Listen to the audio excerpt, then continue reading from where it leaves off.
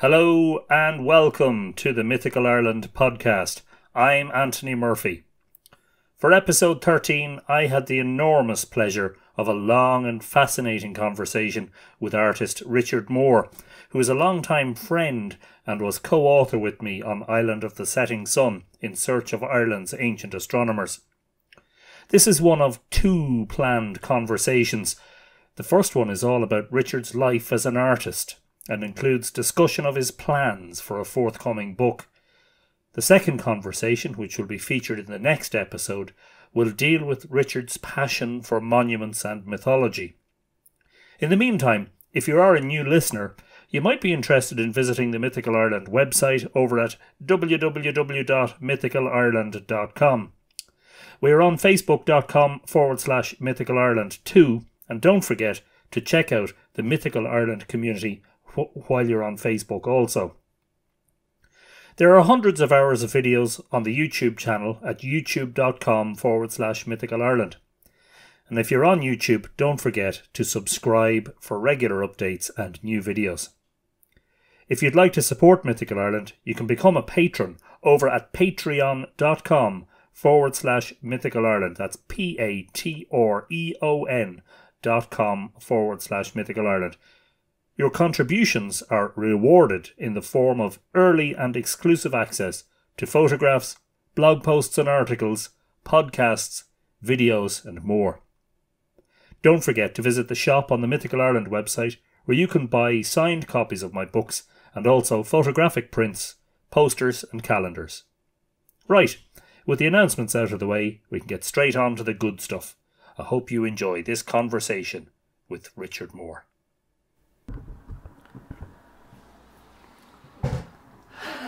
Off we go.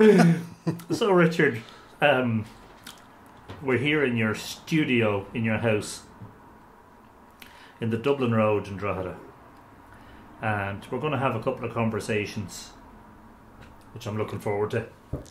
So am I.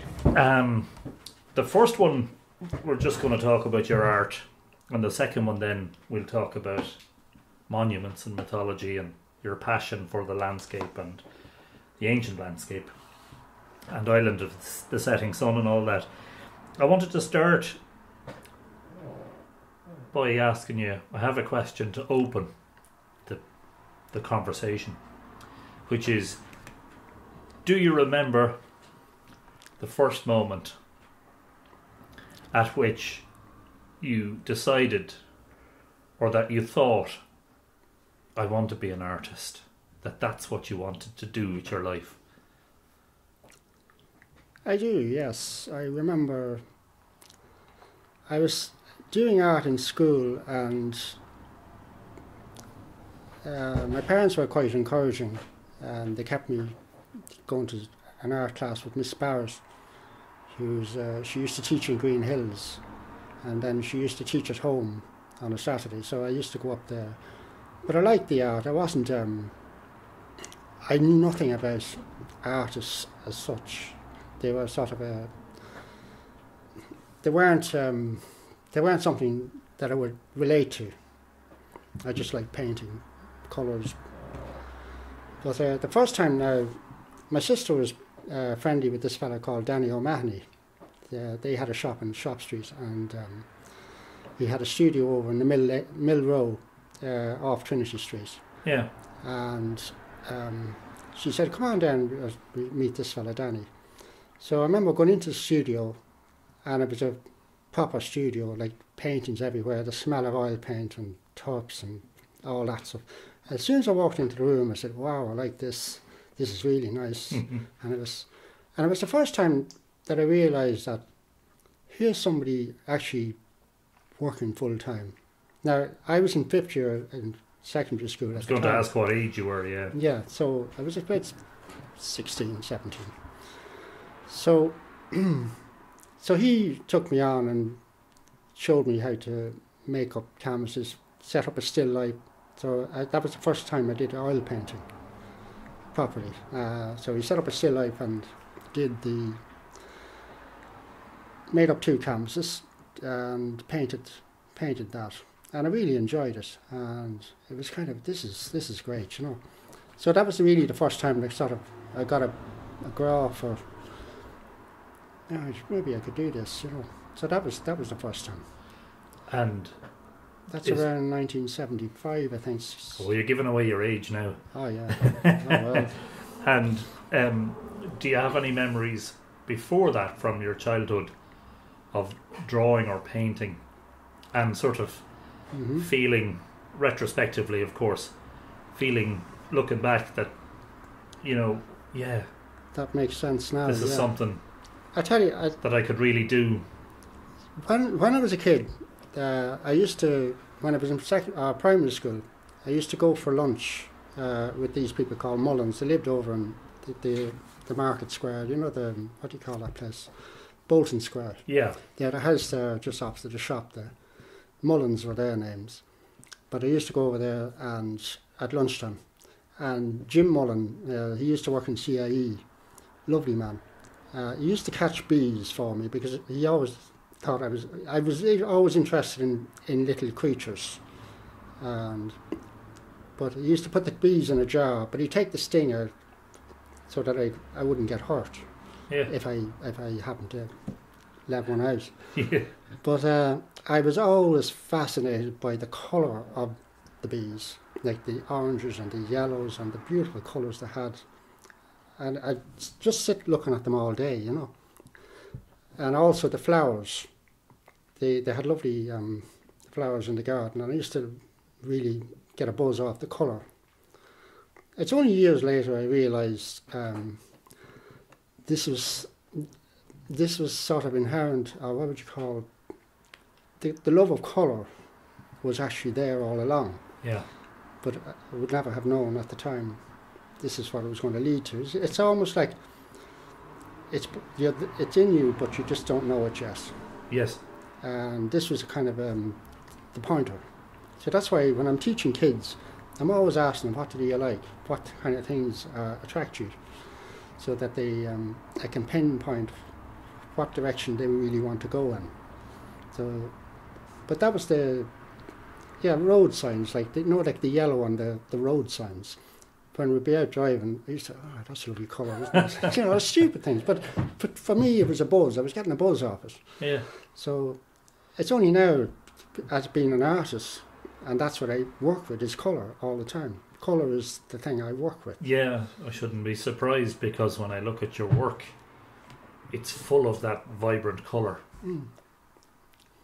And flowers, they, they're great teachers of how to mix colours because they're so pure and so strong that sometimes you don't even have the the, the colour in the tube to get it. So you have to you have to go and look for the that particular colour to get the purity of it, to so that what the eye sees you can put it on the canvas. Yeah, So that's interesting. I never would have thought that that you'd have an incomplete colour array, yeah, you know, on your palette.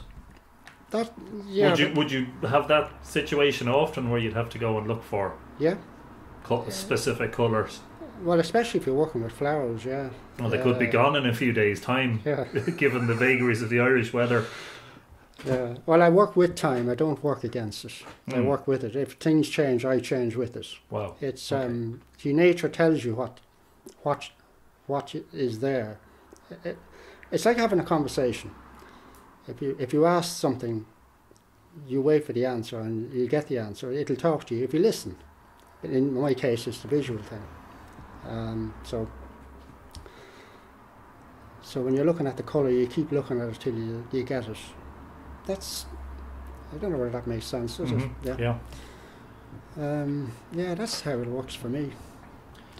And in terms of that sort of the colour of nature, um, would you have spent a lot of time as a youngster out in nature? Yes, um, uh, I used to do a lot of fishing and shooting, and so most of my time was outdoors. Hmm. See, my father was big into fishing and shooting, so anytime he was going out, I was making sure I was going to be with him.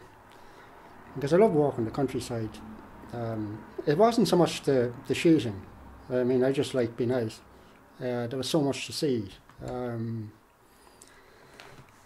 oh, it's just, it's, nature's full of surprises. That's all. It's just you don't know what you're going to see the next in the next step, or what plants you're going to come across, or it's just it's it's full of surprises. So Yeah. it's only natural I would end up working in the landscape, Mm. and then people. Um, love talking to people um, because everyone has a, an interesting story. So you you don't know what you're going to hear At from some one. people. Yeah, yeah.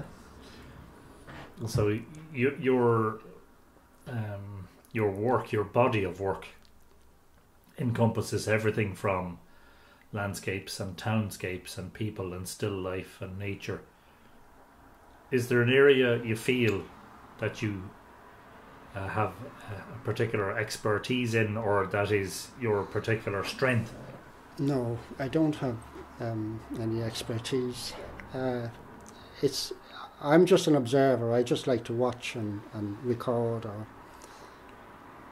ask questions. Why is why is such and such a thing there? Why is it that color? What's what's that about? You know, there's there's always some mystery about when you look at something for the first time. Um, what's going to reveal what it's going to reveal in itself. Um, Well, it's just it's, it's so full of surprises. Um, I can't think of anything in particular just right now, but because every time I go out, there's always something new. Well, I've known you, as you know, for 22 years. And I'd always have got the impression from you that you have, because you spend time painting, you see in a way that a lot of people don't see because I think people in general don't stop and take that time. No, um, okay. I go out and I stand in a spot for a couple of hours, maybe even a couple of weeks, depends on what I'm painting. So I'm looking at patterns every day changing. Or I, I say, say for instance, if I'm on the street, um, I go down there every day, you see the same people going to work. There's a pattern. Mm. In the morning, you meet certain people. In the afternoon, it's certain people. People park their cars in certain places. There's certain there's patterns. There's a flow of life that, that has a pattern. Um, the, the- the other thing that's a bit like that is watching a river. Um, if, like say, I did a painting of um, just the water in front of me, and every now and again you have little whirly pools, bubbles that will appear roughly in the same spot over a period of a, an hour or three hours. So you're watching all this thing, these patterns taking place. Um, so as as they happen, I put them in, and then I mightn't come back for another five or two minutes, put it back, you know, develop that, and continue on, and then you build up your picture by what you've observed over the three hours or the weeks or the months, whatever. Yeah. Um, so you begin to see things differently. Uh, you're, it's like a time lapse. You know the way in a photograph you have a time lapse. You know you you, you see things happening. It's recorded as a streak, maybe the light. But um, it's not a it's not a, a two hundred and fiftieth of a second image of Mm. something I'm looking at. It's a three week time lapse of what I'm taking in. And some of these patterns and these little details Yeah. would appear to the ordinary Joe Soap to be such trivial things. And yet, am I wrong in saying that for you there's a profundity there? These are Yeah. these are almost profound moments that are happening before you. Yeah, because it's it's it's um, it's like a signal being repeated, or say say for instance, if you listen to a piece of music, there's a beat or, or a rhythm to things. Mm. So it's it's it's like seeing music being played. That's would be the best way to describe it. Interesting. Yeah. You know George William Russell, um, and I know we're going to talk about Newgrange the next on the next conversation, but in A Dream of Angus Oge, he said there's a phrase where he talks about light had a voice and the music hung glittering in the air. This is in relation to the sunbeam coming into Newgrange. Yes. which he appeared to have foreseen in 1897, so something like 70 years, 70 years actually, exactly, before O'Kelly would discover that. And I, I always thought that was fascinating turn of phrase to to describe light as if it had sound, and here you are making the same connection. Yeah. Yeah, it is that. Yeah. There's a, a sound wave, a light wave. It's pretty much in that sort of rhythm. does your artist's way of thinking ever um what's the question does does you know that way of thinking does it ever hinder you in life in your dealings with other people? Um, that's a good question. Uh, can you give me sort of a, a hindrance, like? It's probably a difficult question but i mean just from the point of view that you clearly have a sort of a vision that extends beyond the color that you see you know you have a broader vision okay, um, you only live once. You gotta. I want to know what it's about. Why? Why are we here? All that kind of stuff. It's all. This is just my way of questioning my existence. yeah Um, I, I, a curiosity about why I'm here or what it's about. And it, the more I explore, the more wonderful it is. Um, now, a hindrance is there are things you'd like to do, but you can't because it's just not possible. Um, society may not understand that, but um, I think it's important just to follow that, follow what yourself, be yourself as much as you can. Um, I don't know. It's yeah. It's a kind of a. Um, that's a deep question. Well, perhaps we'll be given an opportunity during the course of the conversation to come back to it and to flesh it out a little bit. Yeah. Because you see, a lot of people are in rhythmic lives, and you've talked about rhythm there, which is Yeah. interesting. And as you say, they park in the same spot, they come and go to work, they're following patterns. Yes. And your pattern is, you know, gathering your materials together and going out there. And, and it's not really a pattern outside of the, you know, the uh, the humdrum of, you know, as I say, bringing the materials to a place. Uh, when you get up in the morning, what what motivates you to go to a particular spot? Uh, that's a hard question now because it would have been I much keep easier. asking hard questions. No, no, but it, it would have been much easier when I'm when I'm on the roll. At the moment, I'm not really on the roll to. Um, I haven't got as much of a drive to paint at the moment. Hmm. Um, um, things have been sort of awkward for the last couple of years, so um, it's sometimes you burn out. Uh, Yeah. You, you paint so much and you do so much, and then you kind of run into a, a dead end. It's a little bit like the artist's equivalent of writer's block, I'm sure. Same thing. Yeah. Yeah. So sometimes you just have to do nothing Yes. And s- to sit still and be quiet Mm. and let it. Um, it's a bit like a, a sponge. Uh, you can dip a sponge into the water, lift it out, and then squeeze it out, and that's your work. What you squeeze out is the work from soaking up all your uh, surroundings. So you squeeze it out, and that's you know, might be two or three years working, and then you just it nothing left. So you have to stop and go back into the water and soak up more to to to build it up again. It's it's that's the way it works for me. I can't force it. You can't um, I can't you can't force a flower to come out before its time. There's a time for all these things. So you have to if you go if you try to push it, it kills it.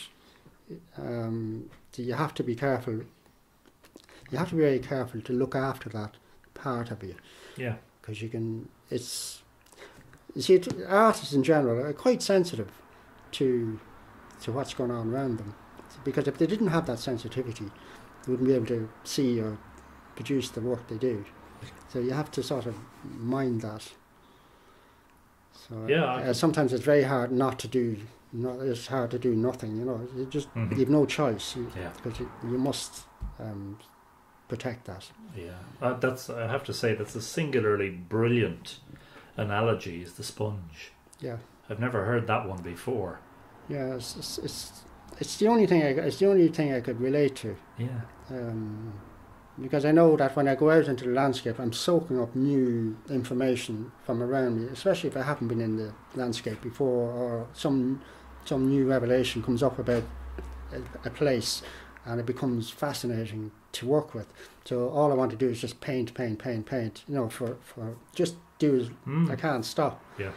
But then you see you you, you use it up, and then it, yeah. it it's time to stop. That makes complete sense, unless, of course, you're very commercial, in which case I think your don't- work is tainted. Yeah, to an I can't. extent. I can't. I, money doesn't.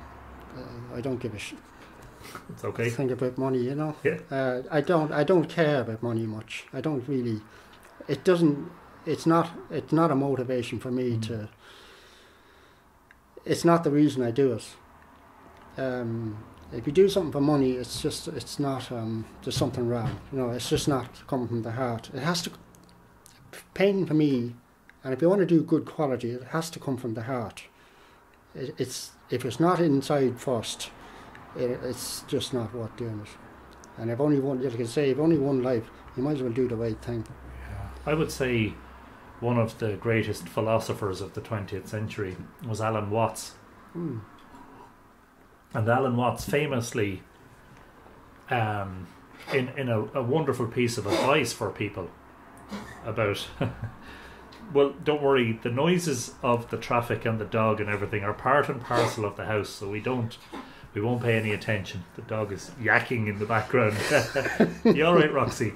Well, what I was going to say was Watts sort of encouraged people who were on that threshold of deciding what they're going to do with their lives to park or to ignore money Mm. as an influence in their choice. What would you do if money wasn't a thing and wasn't an issue and didn't make the world go round? What would you do to set your heart on fire? What would you do as work in your life that when you're going out the door in the morning or wherever you're, whatever you're Yeah. doing in your work, that you you never feel like you're going to work? Oh no, I never feel I'm going to work. That's That doesn't surprise me. no, it doesn't because I, I really like doing what I do. That's that's the bottom line. There's there's a there's an energy there that you can soak up. Uh, it just gives you fire. It, it, it gives you energy. Whatever whatever that is, it's yeah. It's just the words. I, I can't find the words for it at the moment. I have uh, one of my kids. Uh, he's into music and he's a big fan of Billy Joel. hmm And he said to me a while back, he said, "Dad, do you know that you know the way all Billy Joel's hits are in the past?" I was like, "Well, I don't know much of Billy Joel's music," but he said, "I'll tell you the reason." He said, "Because it just came to the stage where he he realised this is what he told me anyway that." Oh, you know, I have done all my great work, and and I can't force myself to do it. I can't make hit music happen Mm. And he has taken apparently a long hiatus from composing songs because he feels that he has achieved what he set out to achieve. Now, that's not quite the sponge because you're hoping that the sponge absorbs water and you can get going again. Yeah. But I mean, it makes completely sense, complete sense to me that a person who's creative isn't necessarily endlessly creative. That there come those highs and lows, like a sine wave, you Yeah. know. Mm. That you have those peaks where you're full of create, creative energy. Your your output is phenomenal, but as you say, they are balanced by those periods where you there's a bit of uh, introspection, maybe, and a little bit of calm and quiet. Yeah, it has to. You It think has- it's a It has to be like a river, you know. The, the is the, it doesn't. It's not the same water. yeah, It's always fresh, yeah. a flowing river. So if you keep dipping into that, you get fresh material all the time. yeah. You just you have to know where it is, though. Yeah. and you have to. If something interests you, just go with it. Um, you might have a plan from to go from A to B, but on your way to B, something might just catch your eye. But you have to be very careful not to continue going to B, because this this thing that caught your eye on the way is where you should go Yeah. and stop and have a look at that, because that usually is the that's where the pot of gold is. Yeah. You've got to go down that area and have a look at that, and that usually opens up a whole new path, a whole that- new direction. Even that's fascinating because another of the great philosophers of the 20th century, in my view, is Joseph Campbell, who wrote a lot about mythology. And Campbell says pretty much the same thing when he says, Oh, you know, you come to the edge of a forest and you see certain pathways beaten through the forest and you're trying to decide which one to take. hmm And his advice is don't take any of them, beat your own path through Yeah. the forest. Because to take another path is to take someone else's path and to do something perhaps that's not invigorating you in the way that life could have done if you had beaten your own path. exactly. So that makes complete sense. yeah, it does make sense. It is sensible, yeah, Yeah. Because then it's it's um it's fresh. It's it's completely unknown to yourself what's going to happen next, and that's the excitement. Oh yeah. Because Absolutely. you just don't know what you're going to see. so you like spontaneity. oh yeah, oh yeah. So, so go back to the question then. Uh, when you're getting up in the day, Hmm. and you want to know, I know this is not current, but Yeah. say a few years ago when you were painting, what, like, I kn- you probably don't. Do you consciously decide well in advance where you're going, or do are there some days when you just gather the gear together, put your easel on your back, and just walk until you f- find Yeah, a spot and get the signal? Yeah, that's it. Really. Yeah. And Just would that be the case There might be with something. much of your work in terms of the percentage of, it, of yeah, most of it, really? yes, most of it's just. I could be walking through a landscape and to go someplace and do the painting, but on the way back I say, "Oh, there's another painting. Oh, there's another one. Oh, there's another one," and I wouldn't have seen them on the way. Yeah. But it's it's after painting, Yes. being in the immersed in the place, and then on your way back you start to see other compositions that, oh yeah, that'll be fabulous. That'll be great. Oh, I have to do that, and then you, suddenly before you know it, you have about twenty other paintings on the go, and you just don't want to go home. You just want to get up early in the morning, six and five or six, as soon as it's light, or even in my case, it doesn't matter. Mm. Uh, I'll paint at night time. Yeah. So So your senses are heightened, as it were, by the act of painting, and that Yeah. encourages you to do more. Yeah, I feel normal when I paint. Um, say, say for a lot of people out there that would be unemployed. Well, if I'm not painting, that's how I feel. I'm unemployed. Yeah. I'm not. I don't feel normal. It's as soon as I have the brush in my hand and I'm out painting, I'm getting into it. I feel totally at ease and uh, not, I feel absolutely normal. This is this is this is what I'm doing. You know, yeah. I feel I'm in my space. Yes. It's my sacred space. And you know that that makes you very fortunate and privileged because I, I maintain that there are less than t- 10% of people, eh, I'm talking about Ireland Yeah, in particular, in- I'd say in the Western world, there's probably a- about 5% of people who are truly doing what they're, uh, what gives them the greatest fulfillment in life. it's very important um, to to get there. That that to be to be yourself. Um, Does, if you don't mind me asking, does the fact that sometimes you're not in the zone, as it were, as an artist, and that's hell. and consequently there's no income. Yeah, that's hell. Yeah, that's. I mean, that obviously has to Oh, be yeah. a factor in modern day existence when you've bills to pay and you have to feed yourself.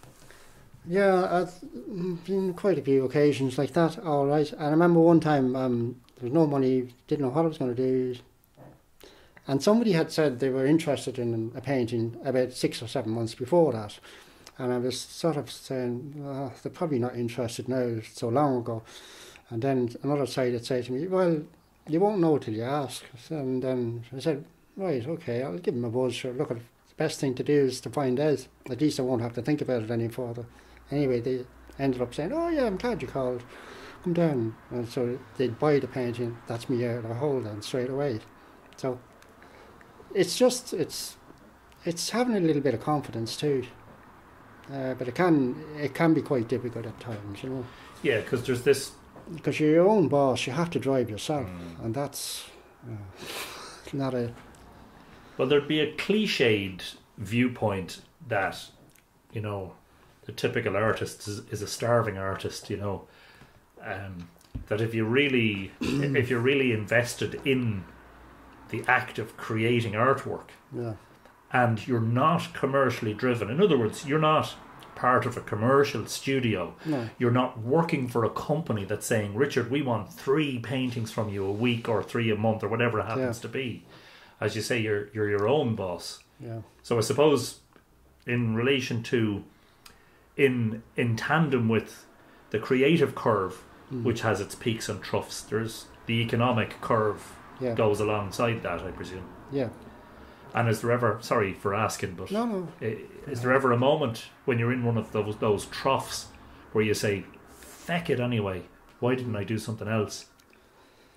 no no uh, yes the, the the low time is bad because you've you, you, you've no drive you've no money and you're trying to you're trying to control your integrity as well and um, you have to try and keep those things in place. So and then your confidence drops. And yeah that's not a good place to be. But you got to have faith in God. Which is where I go. I go to I go to the Almighty. Because if I didn't have that now I, I wouldn't be here now you know? So Yeah, that keeps me sane. Because I know that I know that at the end of it all it's worth it.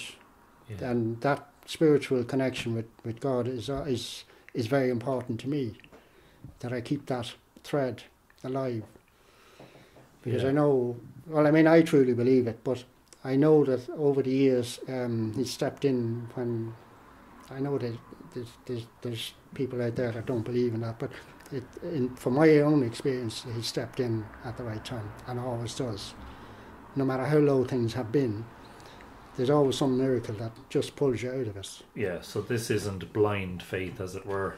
Yeah. You know, it's faith based on experience. Yeah. And I do intend, of course, to talk about your religious beliefs because I think they're important to your work. But before that, let's just go back a little bit because I want to talk a little bit about how your life might have been a reflection of the lives of some of the great painters. Um, so let's take a little bit step, step of a step back in time. When you finished school, you then went to study art in university. Is that right? Well, not straight away no. because I failed my leaving cert. and I failed my art actually in my leaving cert.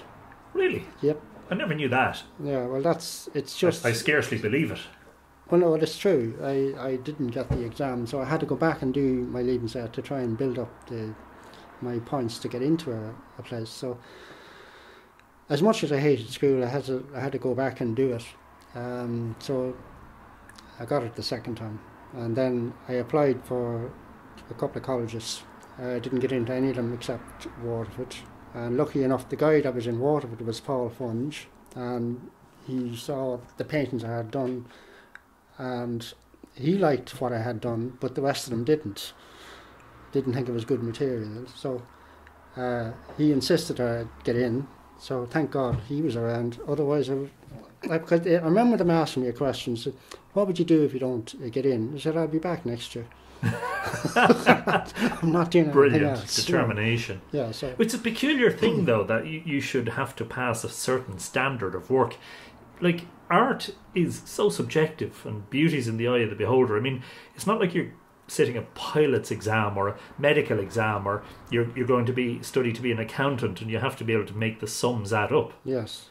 It's a strange thing, is it not, to have to, you know, for somebody know, else to yeah, judge your work. You know? I thought I thought it was funny because I was waiting in the waiting room, waiting before you go in for the interview. I was we were sharing uh, work with other people that were going in, and I was looking at the work. I said, "Why is he going to our school? He's bloody brilliant, you know. What's he going to? I can't teach him anything else."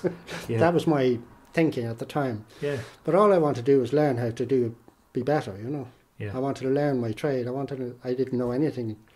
Uh, You know, all, that's all I wanted was to Uh, learn. And so, how soon after this uh, meeting with uh, Funge and his colleagues did you get word that you were successful, or did you have? I have was to? a few. It was the following week or so. Okay, it was quite. It was quite. and were you surprised?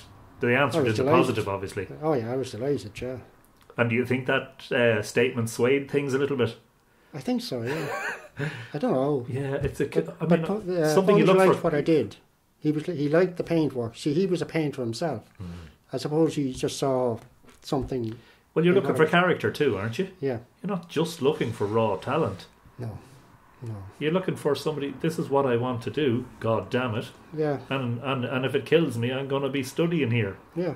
And it's a. I mean, Yeah. I think I happen to think it's an exemplary attitude, and it's the sort of attitude in my own professional life when I was interviewing people for jobs when I was in editorships of newspapers.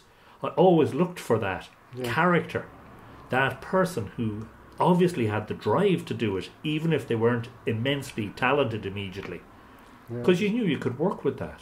yeah. There's nothing, See, nothing. I just it- it- I, I didn't know my trade. I didn't know I wanted. That's what I wanted to go there was to learn how to be better at what I do and, Mm. and explore that. yeah.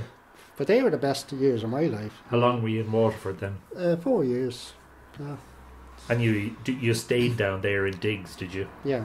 And, And so you were away from Drogheda for a long time. Yeah, for the four years. Yeah. And that was a, I, I know from talking to you over the years, it's a time that you're very fond of. I, uh, You feel that was the time that everything happened for you. And, I did, yeah, Yeah. because um, you got up in the morning, went into college, painting all day or doing whatever you do art wise, come home, just start, get out the pencils, start painting at home or sketching. The lads in the cla- in my flat were the same, so we were all painting 24 hours a day nearly, if you know what I mean. You were in total heaven for me, you know, so what more could you want? Yeah. And no pressure. And you had, of course, the support of your parents as well, thank which is God, lovely. Yeah. yeah, yeah. Because they didn't throw the eyes up to heaven when you said you wanted to be an artist. No, they were very supportive. Uh, yeah, that way because, well, they they knew me anyway. They knew I was had a had a a feeling for us. So when you were in college and you started learning about the great masters and the Renaissance and all that, yeah. Yeah. presumably you studied art history. Yeah, Now, this is going back to the earlier question. How much of your own life now, having sort of how many years on from Waterford are we now? Are you three or four decades? more. Um, 1975 Yeah. to uh, 1980. four, four, four and a half decades. Then, yeah. You, you know how much of yourself do you see in the life of the great art- artists and vice versa in terms of that? Well, dogged determination to do what you want to do and the passion for it, but also then maybe the lean times. Yeah, well, if it's when you look at some of the artists, like say the Impressionists, which I like a lot, um, they'd no dole of support Hmm. most of them, and I don't know how they. I, do, I really don't know how they. They could stick it out, and and live under those conditions, and still paint. Yeah, to, to me, they were the most courageous bunch of people I've ever read about. You know, they stuck to. They believed in themselves so much. They were prepared to go through hell to get there. You know. And then they may have go- gone for days without food at times and Yeah. stuff like that, Oh yeah. sleeping in hovels and Yeah, going through. Yeah, I really, I really don't know how they had the will to keep going.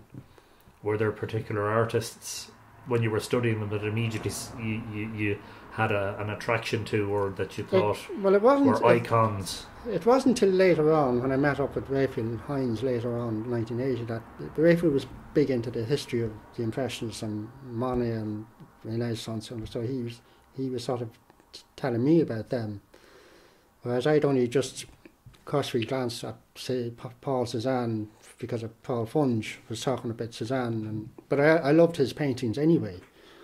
Uh, so if you're looking through books, you go, oh yeah, I like that, you know, that painting, or I like that particular artist's work. But uh, it wasn't until um, Raphael was talking about Monet. I remember one time when we were in the studios, he was on talking about Monet and, and the, the haystacks, and, and we were looking at the paintings of the haystacks. And I said, I was looking at the painting. I said, "There's no way you can see those bloody colours. There's not a chance. I don't believe. I think he's having us on, you know." and I said, "I'm going to have to find out for myself." So uh, I went out and went up the fields to have a look at the paint, paint these haystacks, and um, come back a few hours later, and I said to Rafa, "Yeah, he's telling the truth. they, those colours are there. There's no doubt about it. My God, he's brilliant, you know." Yeah. So I had a great admiration for Monet after that because I knew he wasn't bullshitting. Yeah. So, um, but the same goes for Cezanne. Any of those great artists, they're all they're all. It's just when you see them and they, they hit they work for you. When you look at the painting, they just they they, they sing, you know. Uh, visually, they do. Do you have a favourite? No, just too many. And do you have any least favourites? Least favourites. Yeah. Any artists in the world Ah. of historical art that you're No, well, the ones that are bullshitting, I suppose. Yeah, I wouldn't be. I, I won't say who, but yeah. Uh, just that they're not, if they're not coming from the heart, I've no time for them. You know, Mm. Uh, there's there's stuff out there that's just purely commercial, and I, I, don't, I wouldn't waste my time looking at them. So you're discerning too. Well, I, I can't. I have to be. You know, I have to. I have to work with the with the positive energy that's in the painting. If it's if it's working for me, it's telling me that I'm commu- it's communicating with me. Yeah. Now I do I do give paintings that I'm not sure about. I give them plenty of time. I say a lot of this abstract work now might not appeal to me at first, but I never close the door on it because I always say, well, maybe one day I might want to go in there and, and explore that aspect of it. So I don't. And there are abstract paintings I really like that people wouldn't would be very surprised. You know, you know, how do you like that? And it's, it's just it works for me. You know, Mm. so I can't really say.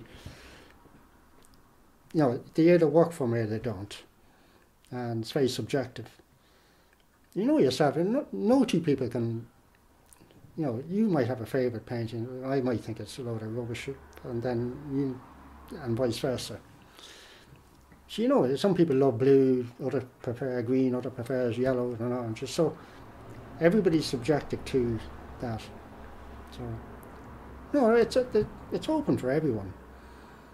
I think you just follow follow what works for you. Yeah. When you were in college, then in university, and you're studying art, I mean, how does it work in terms of exams? I mean, how do they? How do they? What do they grade you on? You know? Well, the grade you on your drawing and the painting. Um, what else? They give you a project to work with uh, for a couple of weeks, and then they assess what you've done and how you managed to deal with it.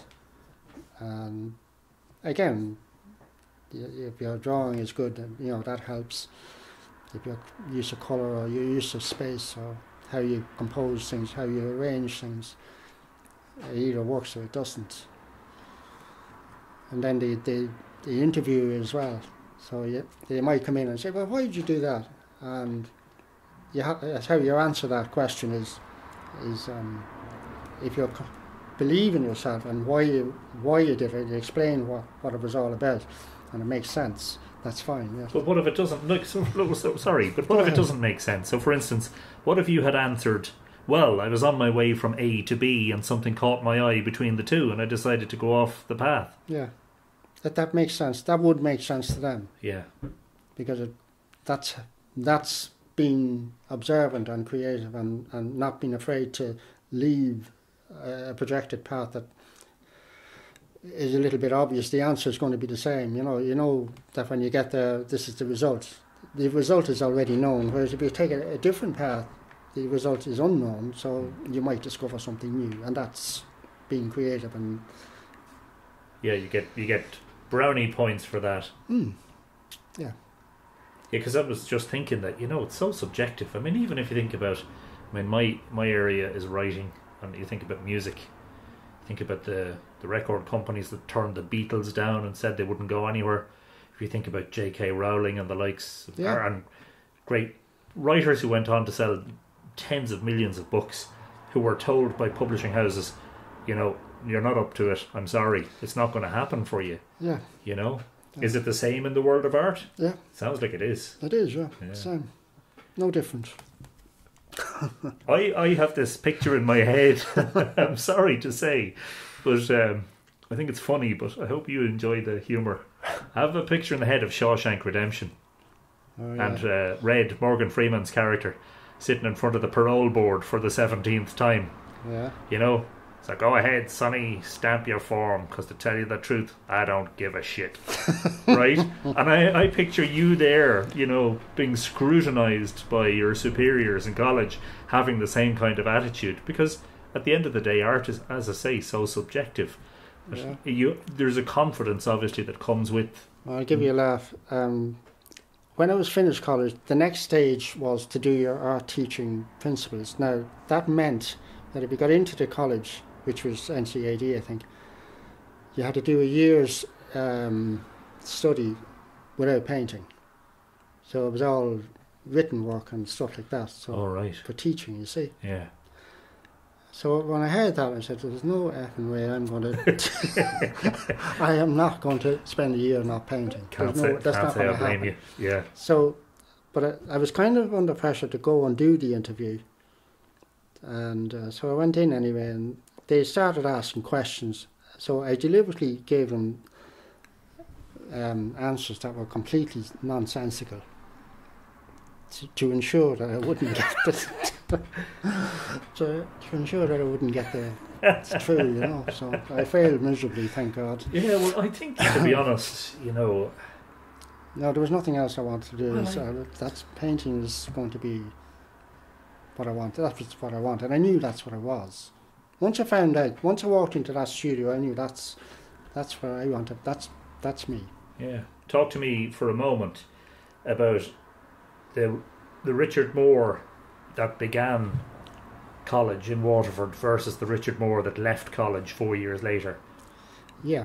Okay. When I left college, I left a lovely environment where you had people around you painting every day. Your teachers were painters. You know, you had all this cocoon of art. But when I came home to Drogheda, there was none of that. It was all gone. That was there was no one else painting around here that I really knew, apart from Danny O'Mahony. Uh, but there were no other artists, and I wasn't. And I remember going out one day after spending some time trying to do some abstract work in the house and thinking, ah, I, I, I don't want this, this is not interesting. So I'll go out and I'll just try a landscape and just see how that goes.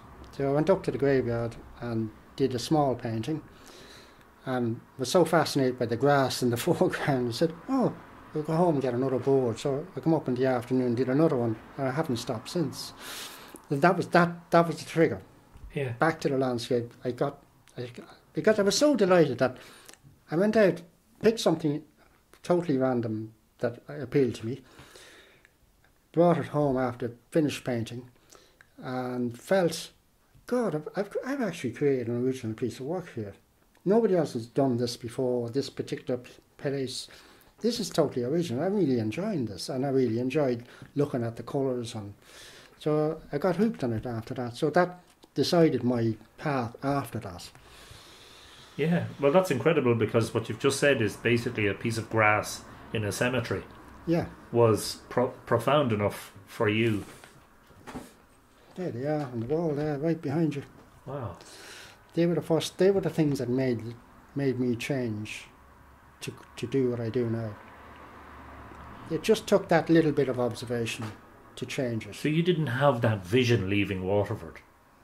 You didn't No. really know. I I'd Exactly done one or two way you were going to landscapes down there, all right, and I enjoyed them, but because you're so immersed in other work uh, centered around the college, like I enjoyed it, but it was when I was on my own. Now you have to make a living or do something. You know, what are you going to do? You know.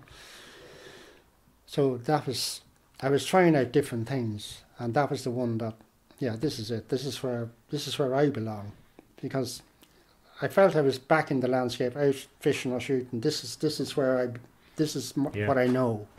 Yeah. And come here now. A very important question is, um, at what point then after that did you make your first sale? Uh, my father actually bought the first painting. Oh, lovely. Yeah, I was I was painting in a place out near Mornington. It's actually near Colp. Uh, there's a glen there with trees and a little stream running through it. So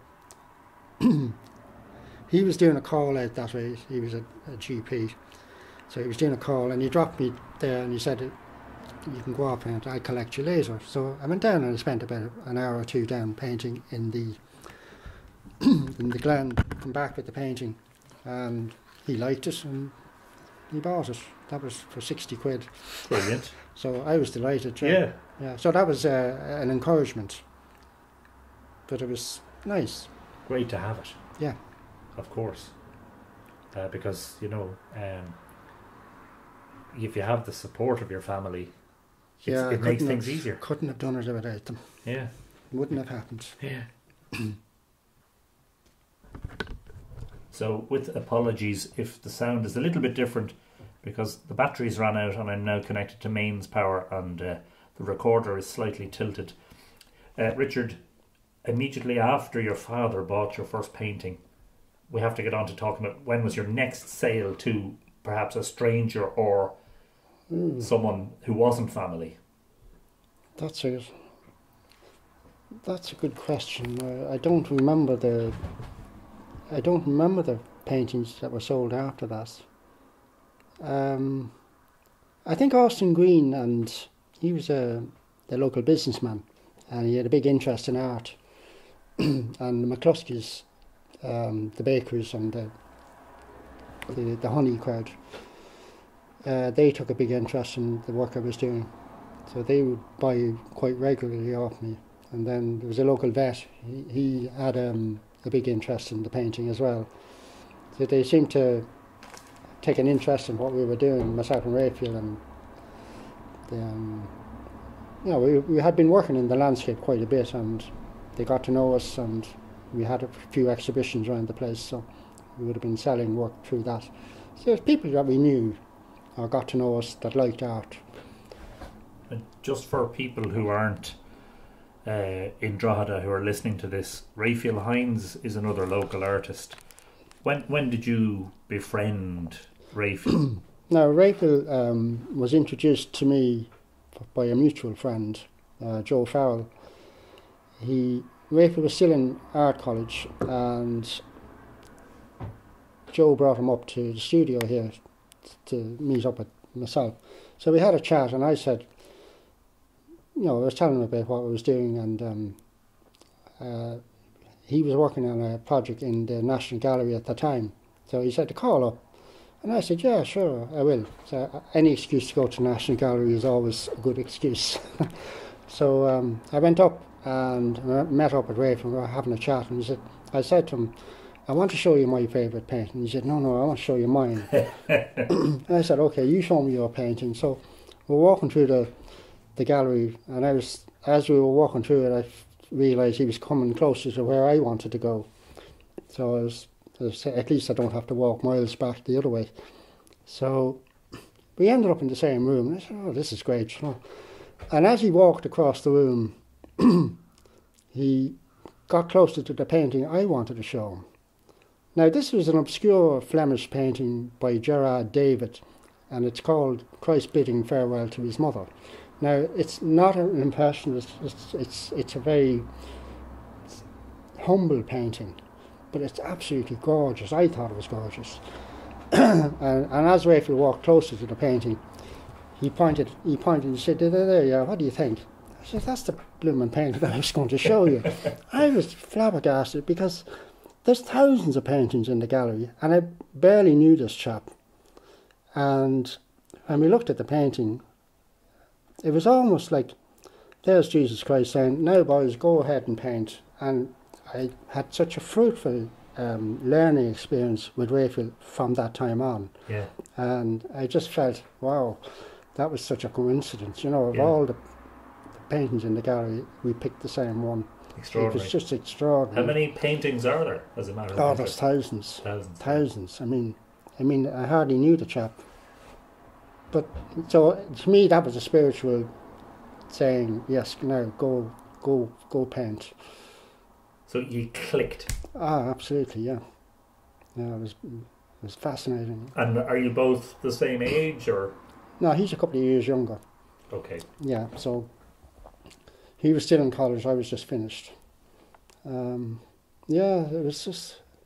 But Raphael has a very um, inquisitive mind and very analytical study. You know, why do you do things? Why does this? He's very much into the mathematical side of things.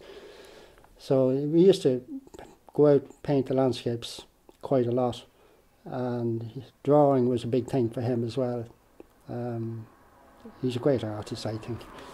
Um, now, now he works in the studio all the time. He doesn't go out. So we we went our separate ways that way, but he was finding his way and I was finding mine. So, but we learned so much from each other, and it was great to get feedback off another artist, which is what I had missed in in college. It wasn't, you know, this is the thing I really liked is working with other artists. Um, so you can. What we do is we go out, do a few paintings, and come back put the stick the paintings up on the wall and have a chat, have a cup of tea, talk about what we saw, you know, what colours we mixed. Um, so we generally quizzed each other about, you know, why we were doing what we did. So, but as a result, you're learning more about who you are, why you do things, because you're being asked questions, which is great. You know, it's um, yeah, that was fascinating. Yeah. Um, um, yeah, so and we go to different places around. I remember one day we were, we were painting up near the railway station, uh, and, and another friend, Andrew McKeown, he was with us. So I was painting one part of the wood, and they were painting another part. And we said, "Ah, we better go home for lunch and get something to eat and come back up." So, so we went home, and then when we come back up about an hour later, where Raphael and Andrew were standing, a fucking tree had fallen right on where they were, so they couldn't finish the painting. If they had stayed, this wow. tree would have fallen on top of them. Crikey. It was if we hadn't gone home, yeah, might have been killed. So, so weird stuff like that, you know. That is weird, all right. Isn't it? Yeah. how how long after you left college did you get introduced to Raphael? Uh, it, I think it was about six, seven months later. So. And then. Long you, you painted a lot together for a while, did you? Oh yeah, yeah, up and down the rivers and up to the, the garden. The nuns had a lovely garden up the back, so we did an awful lot of painting in there because you wouldn't be disturbed by anyone. Yeah. And they didn't mind us painting, so that was another godsend, you know. Yeah, that's up behind your house here. Yeah, yeah. So they look beautiful apple trees and they're lovely flowers in the garden all year round, you know. Yeah. So you could just go up any time, and you could nearly, you could leave the easel there overnight if you wanted, and you come back in the morning, just continue on. And like you, obviously the nuns found that yeah, they like loveliness that. in yeah. nature. Yeah. Yeah. How important? I mean, the the listeners will hear the traffic, and of course the Dublin road is busier than it ever was, and it's always been a busy thoroughfare, the main road in through Drogheda. But um, how important is the local area around you to your work? it's um, it's where I live. Um, it's where I grew up in, so I know the place very well. And it had um, within walking distance, you could go to the fields where there were haystacks. There was a river. There was trees. There was, you know, there was all sorts of things around the place within walking distance. So they didn't need a car. Yeah. But um, that's all gone now. It's a, the development over the last 40 years, that's all gone now. There's all buildings everywhere now, so yeah, it's not it's not the same. I, that that that was a, a killer blow for me. I, I, I felt I lost a lot of um, natural environment for me to work in. So I had to move further out of town to get that quietness and natural cycle of life. You see, I love the changing landscape with the seasons. You know, you're from spring to autumn, winter, and you're looking at the same place, but it changes so much. It's it's it's just brilliant, you know. Yeah. Um, yeah. I don't know. It's just it's it's different now, you know. I think it became very materialistic. The whole environment, Yeah. everything was. Uh, I remember even not being too happy seeing the first traffic lights being brought into town. Went, And they're no." everywhere now, of yeah, course. they're everywhere. But there was there was very few traffic lights around then. It just meant it was it was urbanization was getting more. It, there was, it was losing its natural quality. Um, And that affected you, obviously. it does, yes, it, because you're, you I mean, if I wanted to live in a city, I would have moved into Dublin, but uh, I'm not a city person. I like going in now and again to a city, but um, I'd rather walk a, a field with ditches and birds and dragonflies and insects and all that natural life. You see. Were your parents local or where were they from? My father was from Castleblayney in County Monaghan, and my mother was from uh, Waterford. Um, oh, what's the bloody name of the place? It's outside Waterford. It's about 14. Kill, Kill, Kilmacthomas in County Waterford. That's a So place with a, vi- a railway viaduct. That's right. Yeah. So, so in essence, when you were when you were going to Waterford, you were in a, in a way you were going home. Yes. You were going to an environment that wasn't necessarily immediately familiar to you, but was part of your story, I suppose. Well, you know something? Drogheda is very like Waterford. It has a it has that normal Norman background. You know, you have Reginald's Tower down there. We have Laurence's Gate. Uh, Hugh de Lacy, the founder of Drogheda, as it as in its present form. Uh, you had that Norman influence in Waterford as well, and the, the buildings in the town are kind of laid out similar. So I felt at home down there straight away. Yeah, Uh, so uh, apart from the fact that I had relatives there as well. yeah. Which Yes. made, probably made things a little bit easier. Oh, much easier, yeah, yeah.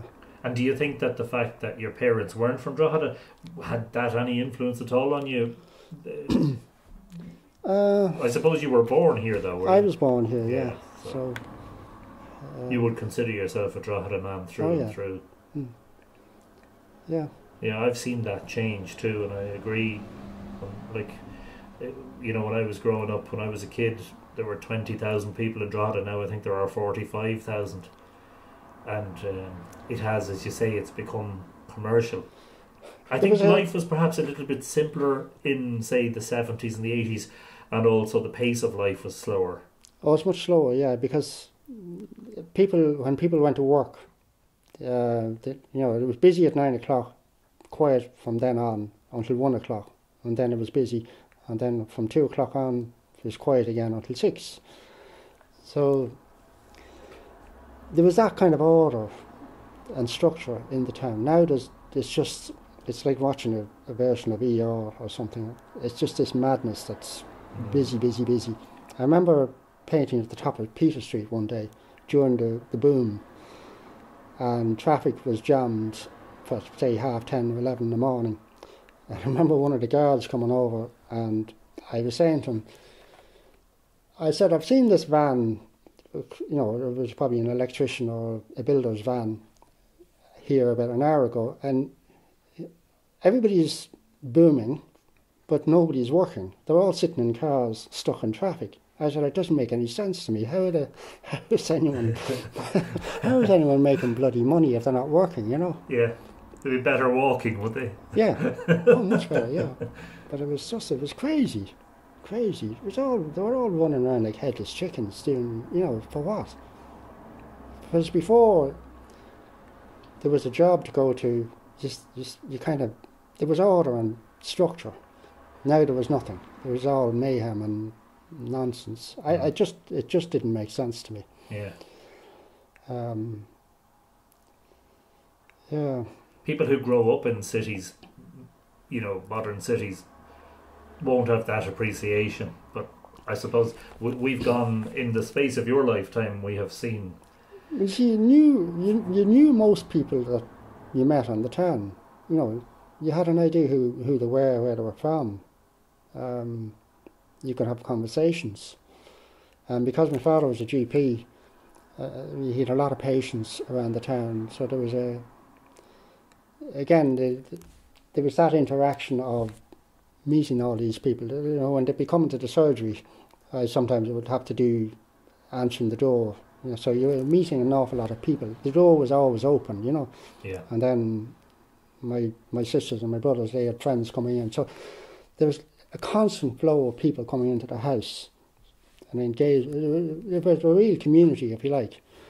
Um, nowadays, um, you're lucky if you see someone coming into the in the door now at all. Yeah. So it's just it's it's it's totally different. Mm. Um, And not in a good way necessarily. not in a good way, no. In, it, was there a particular reason your father came from Castle? Was it work that brought him to Drogheda? Uh, yeah, yeah, yeah. He was he was originally based in Dundalk, uh, in the the hospital there, and then he, he opened up a practice in Fair Street in Drogheda, um, and he met my mother. She had been working as a, a book a bookie in the bookie's office. She came up with my sister, uh, her sister, from Waterford, and they worked in Powers Bookies. So they would have been socialising, so they met up here in Drogheda and I got married then.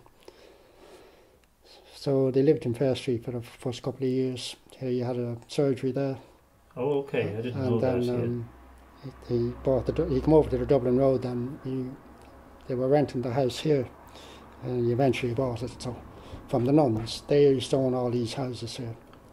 It was originally owned by um, Townley Hall, the Townley Blayney Balfour family. Ah, So these this house was built in 1845.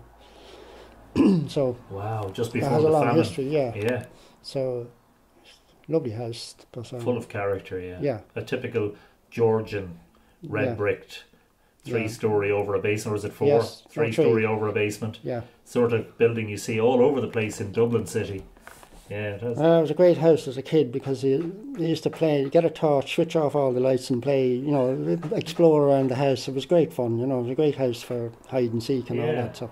Yeah. Great, you know, you Not not really your typical. A lot of people grow up in, in, in, in Ireland over the past half century, have grown up in either cottages or in, yeah, in, in two or three bed uh, uh, terraced houses or three bed semis. You know, yeah. it's a little Oh, bit no, different, this is this is totally different. Yeah, but in a good way. yeah. So, at what point, um, say, uh, say you know, ha- having left college and you were painting with Raphael, at what point then do you remember striking out on your own, as it were, like doing your own thing and sort of interacting with Raphael less and finding your feet? Well, um, Raphael started getting interested in doing portraits, so he, he got himself a studio across town, right beside the Laurence's Gate, um, upstairs.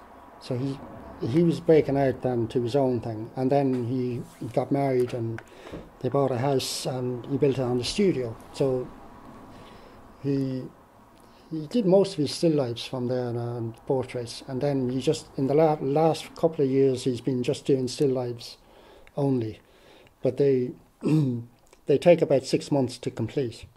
Absolutely rigid observation. Six months yeah, at for least one painting. one painting. Yeah, really? yeah. Um, astonishing depth of observation in them. Yeah, wouldn't be everybody's cup of tea, but No. the, I, for me they're absolutely amazing. Yeah, So obviously, when this happened, you kind of you had found your grá, which seems to have been for the outdoors, yeah. and you kept going at that. I kept going at that, yeah. So, so I've been happy with that ever since. So, um, but then that brought us. I started to move outside the town much more, and that's where I started getting interested in the areas where we used to do a lot of fishing. and that would have brought me up to New Newgrange and out that way, and Ardee and Tallanstown, all these other outlying towns. So when I got a car, I used to go travelling everywhere within all these places. Yeah, So, um, you had a bit more freedom to explore once you had the wheels under you. oh yeah, it's great. When Yeah. when did you get your first car? Can you remember? Uh, I was shortly after I got married. Um, we needed a car to have. You know, we had a Elizabeth then. So we got a mobile home out at um, Creastown in Clogherhead, so we needed a car, so that's when I got a car. So Yeah. But you probably found that opened up whole new a Oh, whole yeah. new area for you in terms oh of yeah, your the art. freedom was great. Yeah. Yeah. Yeah. Is there a particular? I mean, this is gonna such just such an arbitrary question.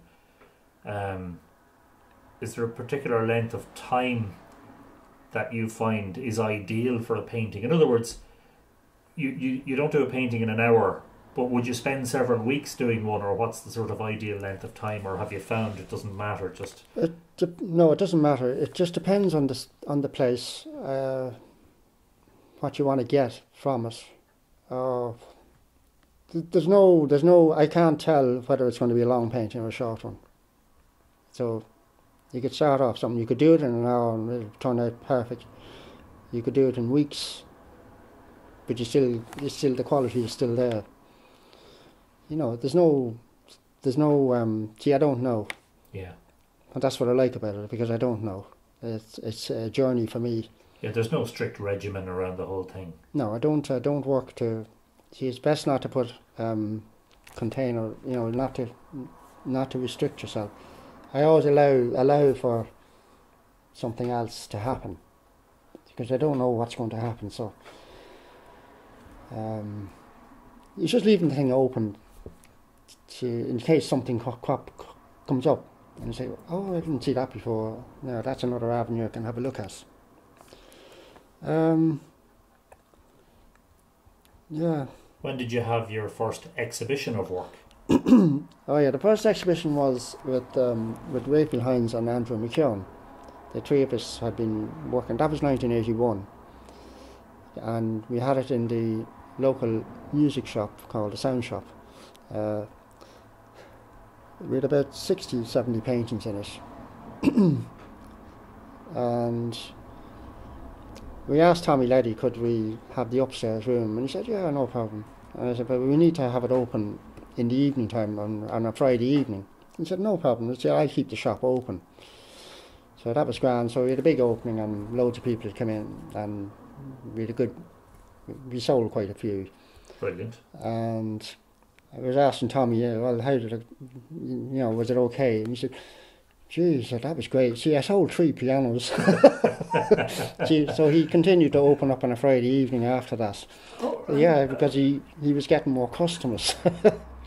So, so, you guys were the reason, yeah, yeah, yeah, I thought it was very that funny. he but- extended his business hours. yeah, Brilliant. uh, so And so I, I suppose was there a nervousness around Oh, yeah. exhibiting publicly for the first time?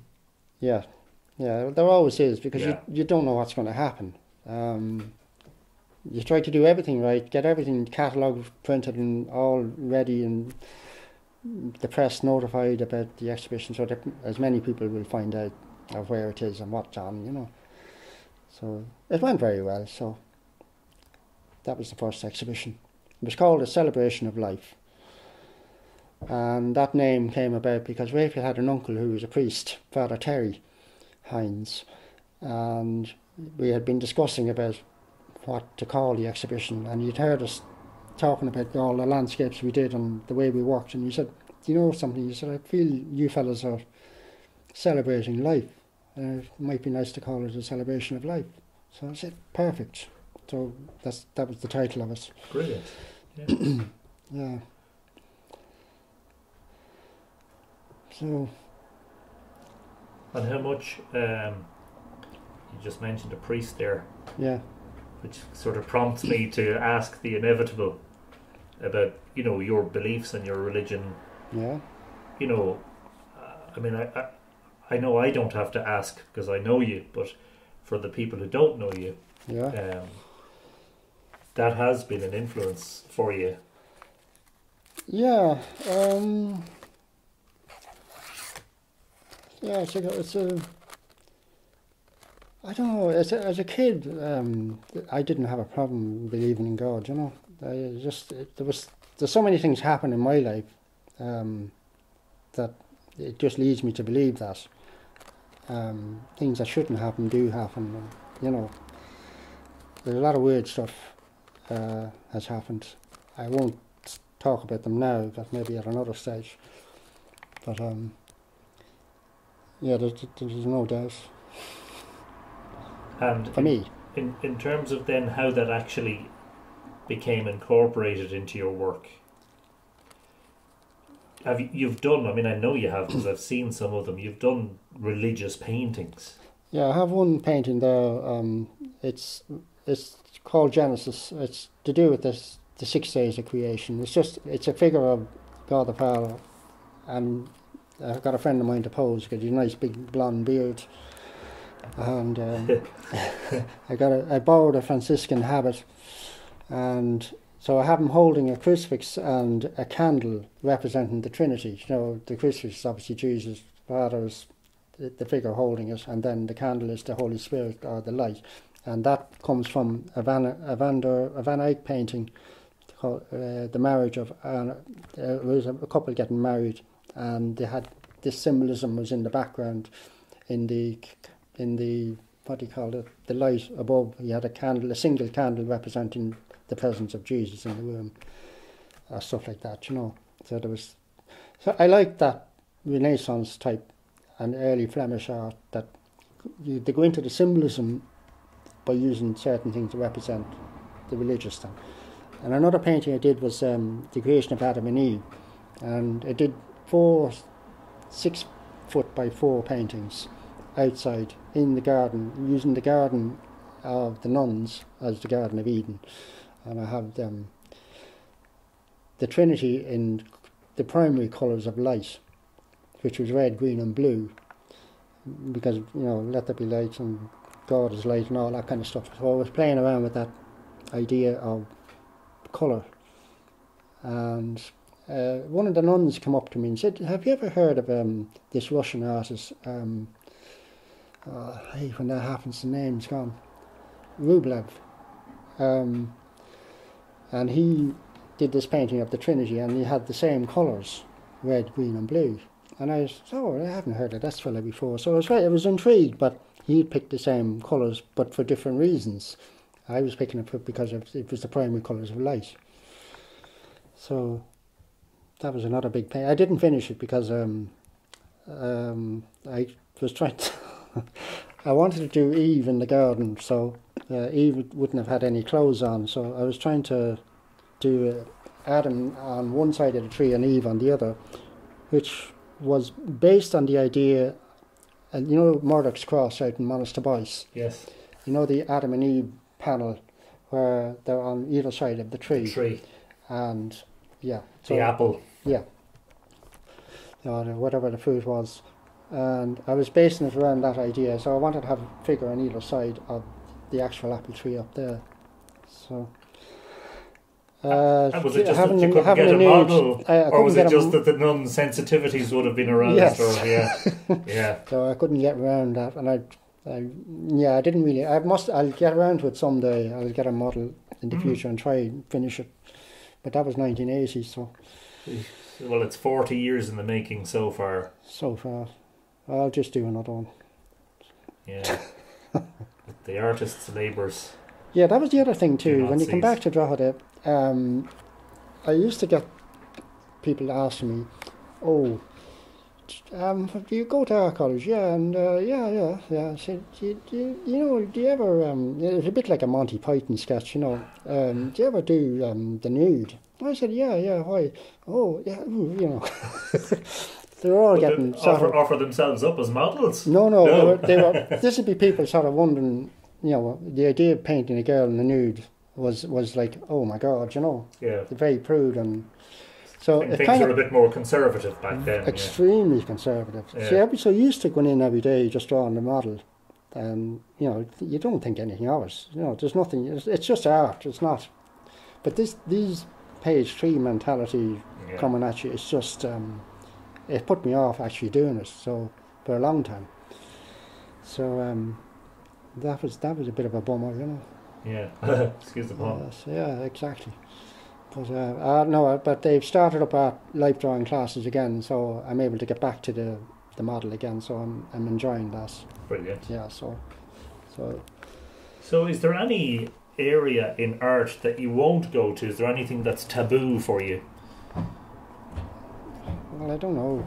Like Um, subject wise, you do landscapes, you do portraiture, you do still life, you Yeah. do you do paintings that have no color in them. Yeah, Um, you've done pencil and charcoal, but I mean, in terms of subject, there isn't anything in particular that you wouldn't. You probably wouldn't paint a car. Well, I've ha- well, I have to paint them. Well, I mean, you know, just a car. Oh yeah, yeah, just a car on its own. No, yeah. it wouldn't wouldn't interest me. I'm not a.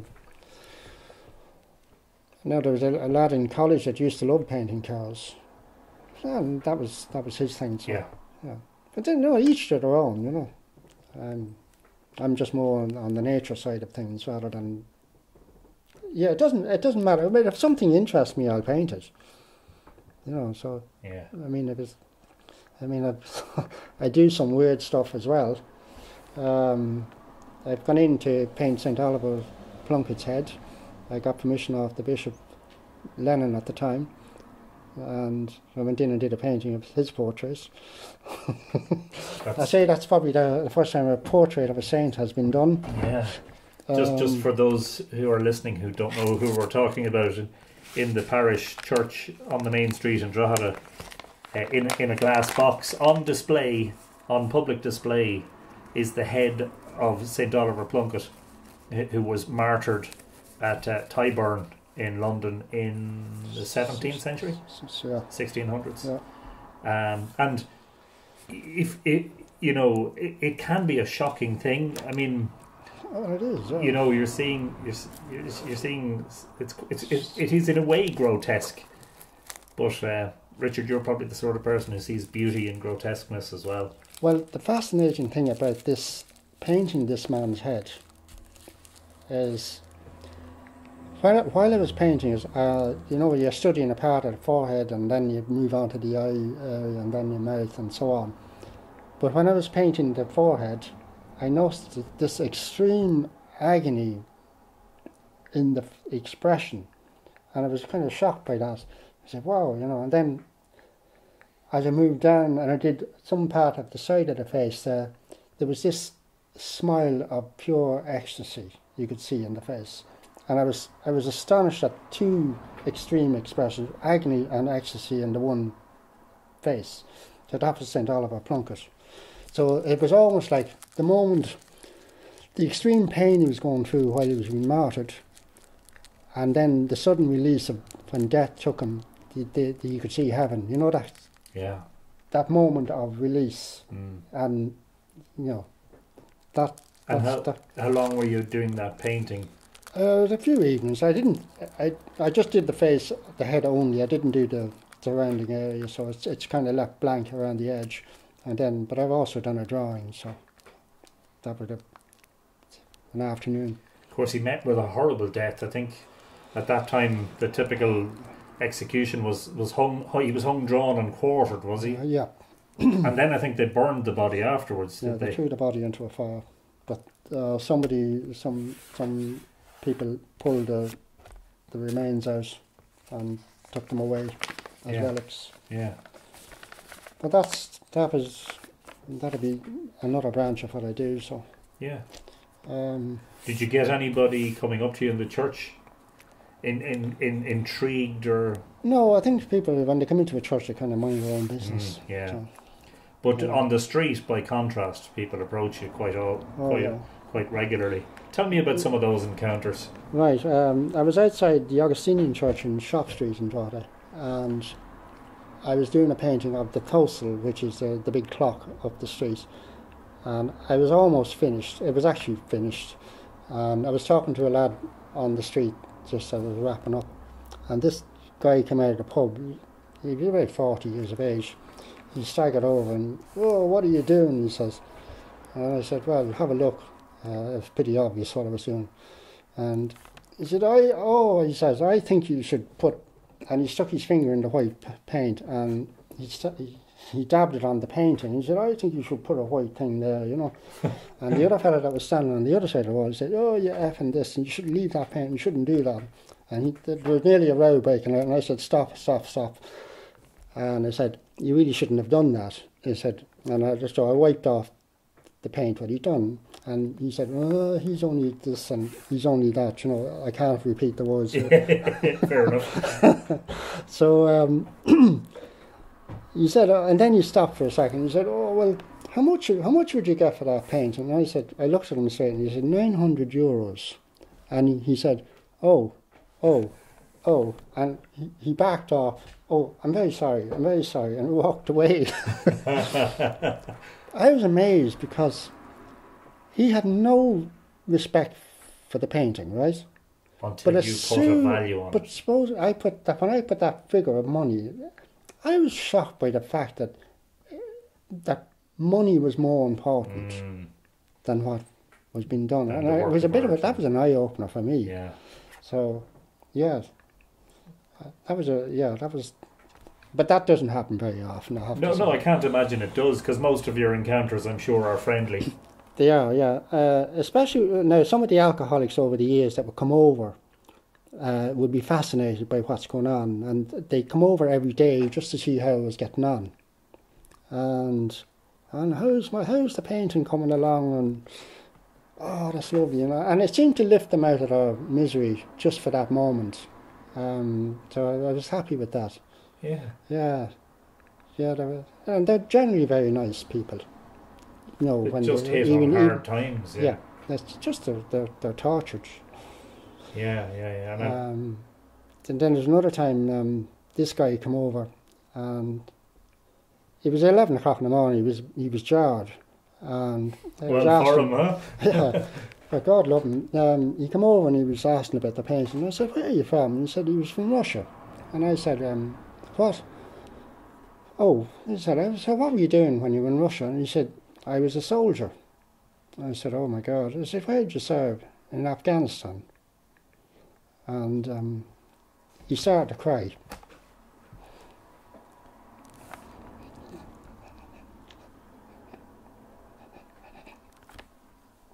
He'd seen things, I can imagine, yeah. yeah, and you could feel the pain. And had he had he broken English? Yeah, you could speak all right, but the pain, the pain. Mm. You might have been the first person he'd, he'd had a proper conversation with. Yeah, I think so. But I get a lot of people coming up to me like that. Yeah, well, it would strike me. I know you a long time. It would strike me that you're a very compassionate sort of individual, sort of person that people. You have a friendly air about you that people feel that they could sort of come up and have a conversation with and tell you things that maybe they hadn't told other people. Yeah, well, that that was one. Yeah, he was, he was, he was. That was that was hard. Yeah, And I said, you really need to talk to somebody, you know. So Yeah. he, he couldn't talk. He had to walk. He walked away. He just couldn't. He couldn't continue. yeah, And I was I was very shocked by that. yeah, yeah. Of course, like war is a Oh yeah, it was horrible. yeah. shockingly horrible thing. So that things was that was that humans was- do to each other in the name of war and flags and nationalism and all that. yeah, he, he was. Yeah, that that hit hard, you know. Yeah. Yeah. So But then you've had a lot of nice. I mean, I I don't mind telling the listeners that I met you on the street that's right. on my way to work. Yeah. Speaking of habits, you know, Mm. and uh, like that, I stopped, and I would say definitely I would have had that impression just from looking at you that you were the sort of fella that. You know, because not everyone's like that. No. You know, you couldn't disturb everybody at- who's at work and start a chat with them. You know, Well, I, I always think if, if people want to learn about art, you know, it's not a bad thing. And I, I feel that if I'm there, they can learn something. You know, it might take them away from their whatever it is that moment. Uh, so they see something going on, a creative process going on. So if they're walking past every day, they can see something building up.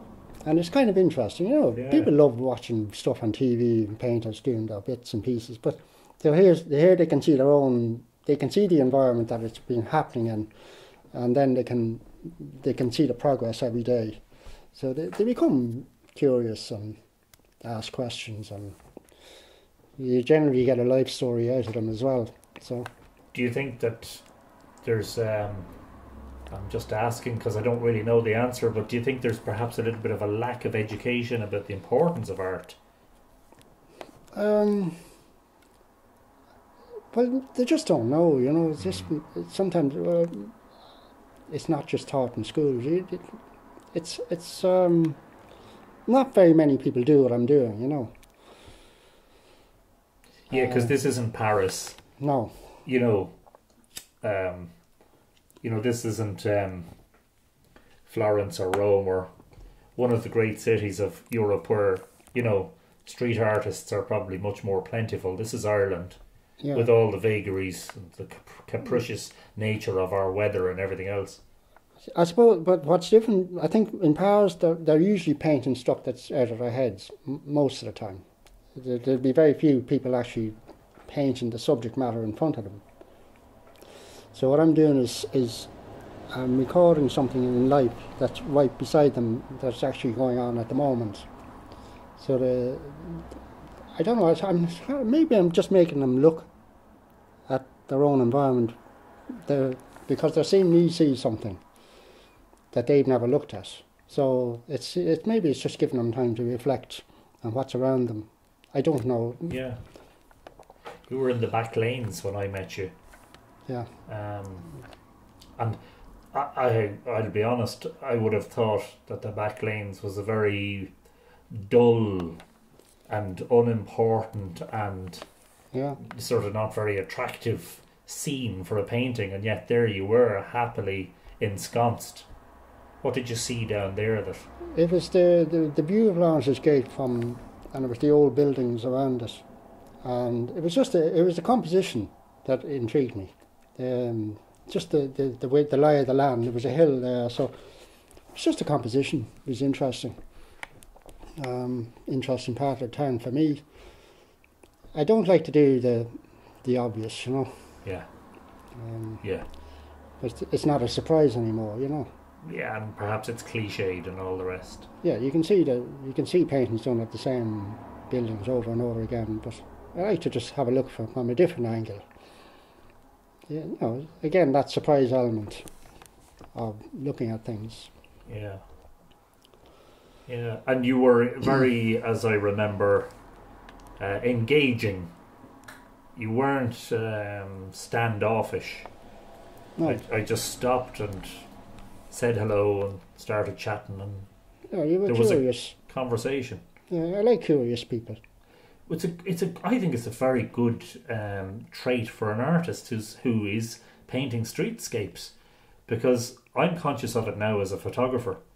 That over the years I've had people come up to me and ask me what I'm doing, Yeah, and I remember one time when I was perhaps a little bit more rash and perhaps a little bit less sort of patient when when I, I turned to the individual in question I said I'm taking a photograph.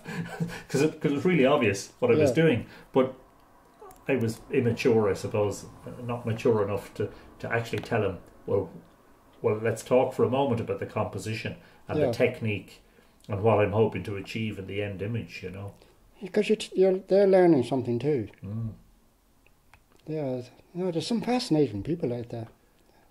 well everybody I I, I, I'll tell you another good one. I was on Laurence Street as well, and it, I had to do the street early in the morning because there'd be less cars on the street. So um, it was about half eight, and this girl came out from one of the flats, and she said, "Oh, I saw you there," and she had a hot dog and. She cooked a little hot dog for me, and she I thought she looked cold, and I thought you might like something to eat to keep you warm. lovely So things like that happen. yeah Or in another place, I was out in the street and a woman came out with a cup of tea just to keep me going and said, if you want anything now, just give me a shout, you know. This kind of, this is the kind of interaction you, meet. People are very kind, you know. mm. Yeah. I don't know, it's just, it kind of brings out the best in people, I suppose. it does, yeah. But you have to be receptive. You see, that's. Yeah. I think they, they. It's almost like they know that before they speak to you. Mm. You know, I suppose they look. They know by your aura, your, the look on your face. I suppose. Yeah. Yeah. So in essence, the artist isn't just painting. You're sort of recording life. I In, think- in many uh, different ways. Yeah, and I think it's, uh, I think people feel safe uh, when they see me painting on the street. I think it, it lends an air of, you know, this is an okay place. It's not a dangerous place. you know, Mm, there's yeah, nothing yeah. threatening about it. Didn't think about that. Yeah. Yeah, so I, I, I seem to calm them. Well, I, I would say you are a calm person. You have a calming influence, which Yeah. probably helps. Yeah, was an interesting point. I never thought of it that way. yeah, People see an artist on the street, they think, hmm, this must Yeah, be an just- okay place to be then. yeah, yeah. I think so. Yeah, Yeah. And I suppose it reinforces it because I, um, we'll take another break in a moment, but when, when we come back, I want to talk about your new work and, and looking at everything that's happened over the years. Um, but it's those perhaps mundane corners where there's still sort of excitement and there's still vividness and there's still life, you know? yeah. People, yeah, people are going from A to B, as I'm always saying. They don't have time to look. Yeah. But when they see me standing there looking, they, they see the place for the first time because they haven't looked at it before. So I'm just giving them time to look and point out things that I see and, oh, do you know such and such a thing is over there? See the colour of that building. It's lovely with the, the other colours around it, you know. Yeah. And that's why I choose this particular spot because it has something that appeals to me. You know, You become aware of the intricate details that other people never see. yeah. I've always known that about you. 'cause- Yeah, see, when you stand, you stand in one spot for hours, you're going Mhm. to see things that, obviously, and that comes from fishing and you're right in the landscape. You know, Yeah, but I would I would say that you wouldn't, as a photographer, you wouldn't see that detail because you're not there long enough. It's it's when you have to record that detail onto a canvas mm, or, onto a board that you you see the full detail of it. yeah. I like to like if I'm painting the river downtown, the the tide comes in and out, so you're seeing the place changing, and you know the colours are changing, and then the ripples on the water have patterns, and it's fascinating. Um, so when the tide's in, it's totally different. There's a calmness, and then when the tide's out, the dark colours of the the river and the weeds, and it's it's just astonishing. Mm. I happen to think that Drogheda is a town full of character. Oh, it's great, yeah. I, great I town. think it's one of the best towns. I've had photographers from Navan who've told me we'd love to come over to Drogheda to do a night or a, a day and a, a night of photography because Navan just doesn't have those. I suppose Drogheda being built on two hills overlooking a river and having that Norman history and having so many structures and Yeah. things lit up Yeah, uh, and old bits of town wall and 17th and 18th century buildings and you have a sense of of like say uh, in this house now there's been families living here living here for over 100 years or two. Mm. and I, I sometimes like to sit in the room and I wonder who was here a hundred, a hundred years ago. Yeah. And Yeah. what there was what was going on what conversations went on. It's amazing. It's just fascinating. They're like they're sort of living among ghosts you know? Yeah. And not that I've seen any, but um, but you have a sense of you have more of a sense of belonging. There's a sense of um, you're in a in a in a in a in a nice place, in a warm place. It's because people have lived in it. yeah Lives have come and go. It's- you know, there's a, there's a lovely sense of belonging. well if it's 1845 that's actually 175 years Yeah. which is The nuns used to live in this house. I remember we we were getting um, rewiring the house and we had to lift up floorboards and I found little notes that the nuns had been written, uh, had written prayers on.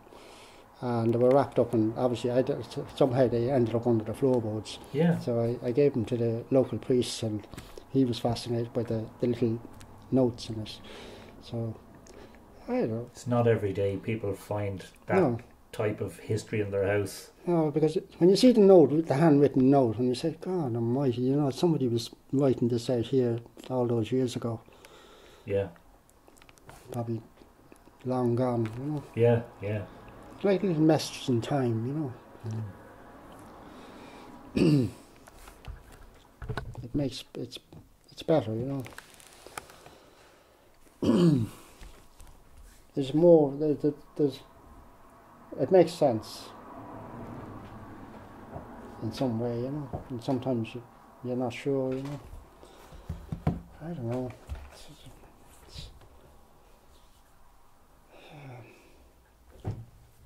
I suppose the other thing is you have to kind of you have to kind of live the life that you uh, you envision for yourself, you know. Yeah, but sometimes you don't, know, you don't know what it is. And, Well, at the moment, it's kind of you kind of reach a stage of, of I'm, at- I'm at an age where it's a bit confusing for me at the moment because I'm I don't know just I'm at a crossroads at the moment so I don't know if, like the inevitable is uh, not too far away, you know. That is, you have to move on. So I'm trying to make the most of what I have now. I don't know. It's, it's kind of a it's a weird place to be at the moment. Is that just do you think related to your age? Yeah.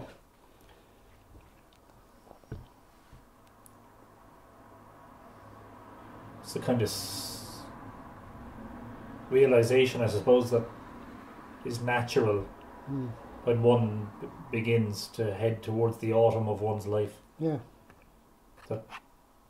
There's an in- inevitability about it. So, Yeah. so, so something that you said there off camera, so to speak, was, you know, that death is a, a great uh, teacher in a way. Uh, wakes you up. You know, we were just talking in during a, a little break there about how so many people don't fulfill themselves and don't reach their you know their potential in life you certainly couldn't be described as that sort of person Um, oh, it's, I'm at a crossroads, really. Um, it's. See, I'm on. I live on my. Well, I'm not living on my own totally. I have somebody here. They're renting a place, so there's somebody in the house. But it's it's sort of. Um, it's nice to have the company in the house, you know. Yeah, yeah. But um,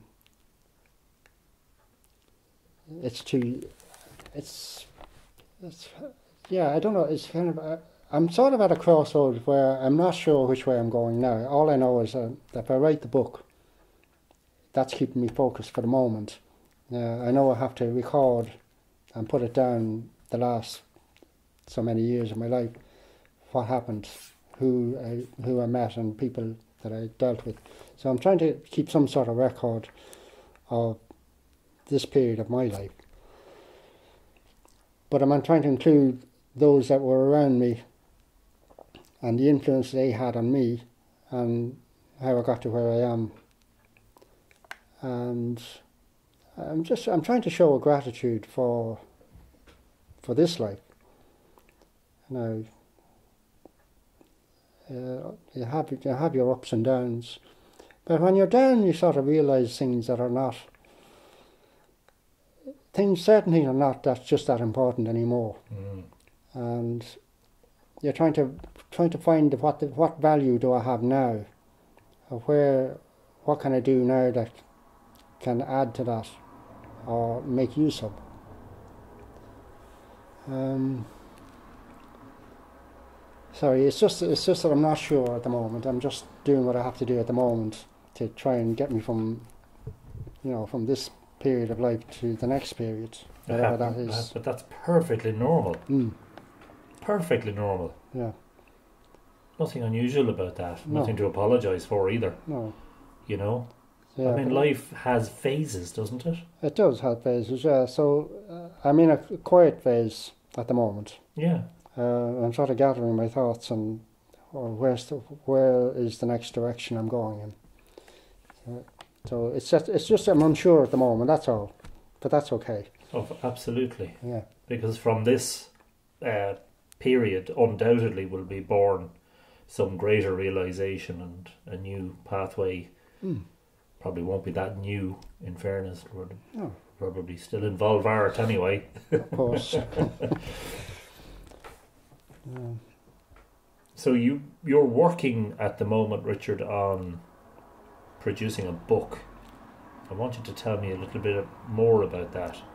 Okay, well, many years ago, I, I, I knew what we were doing as a group was important, and having looked at previous um, artists in history and how much I enjoyed reading about their life, I thought maybe it would be interesting to record of what I- the life I've had.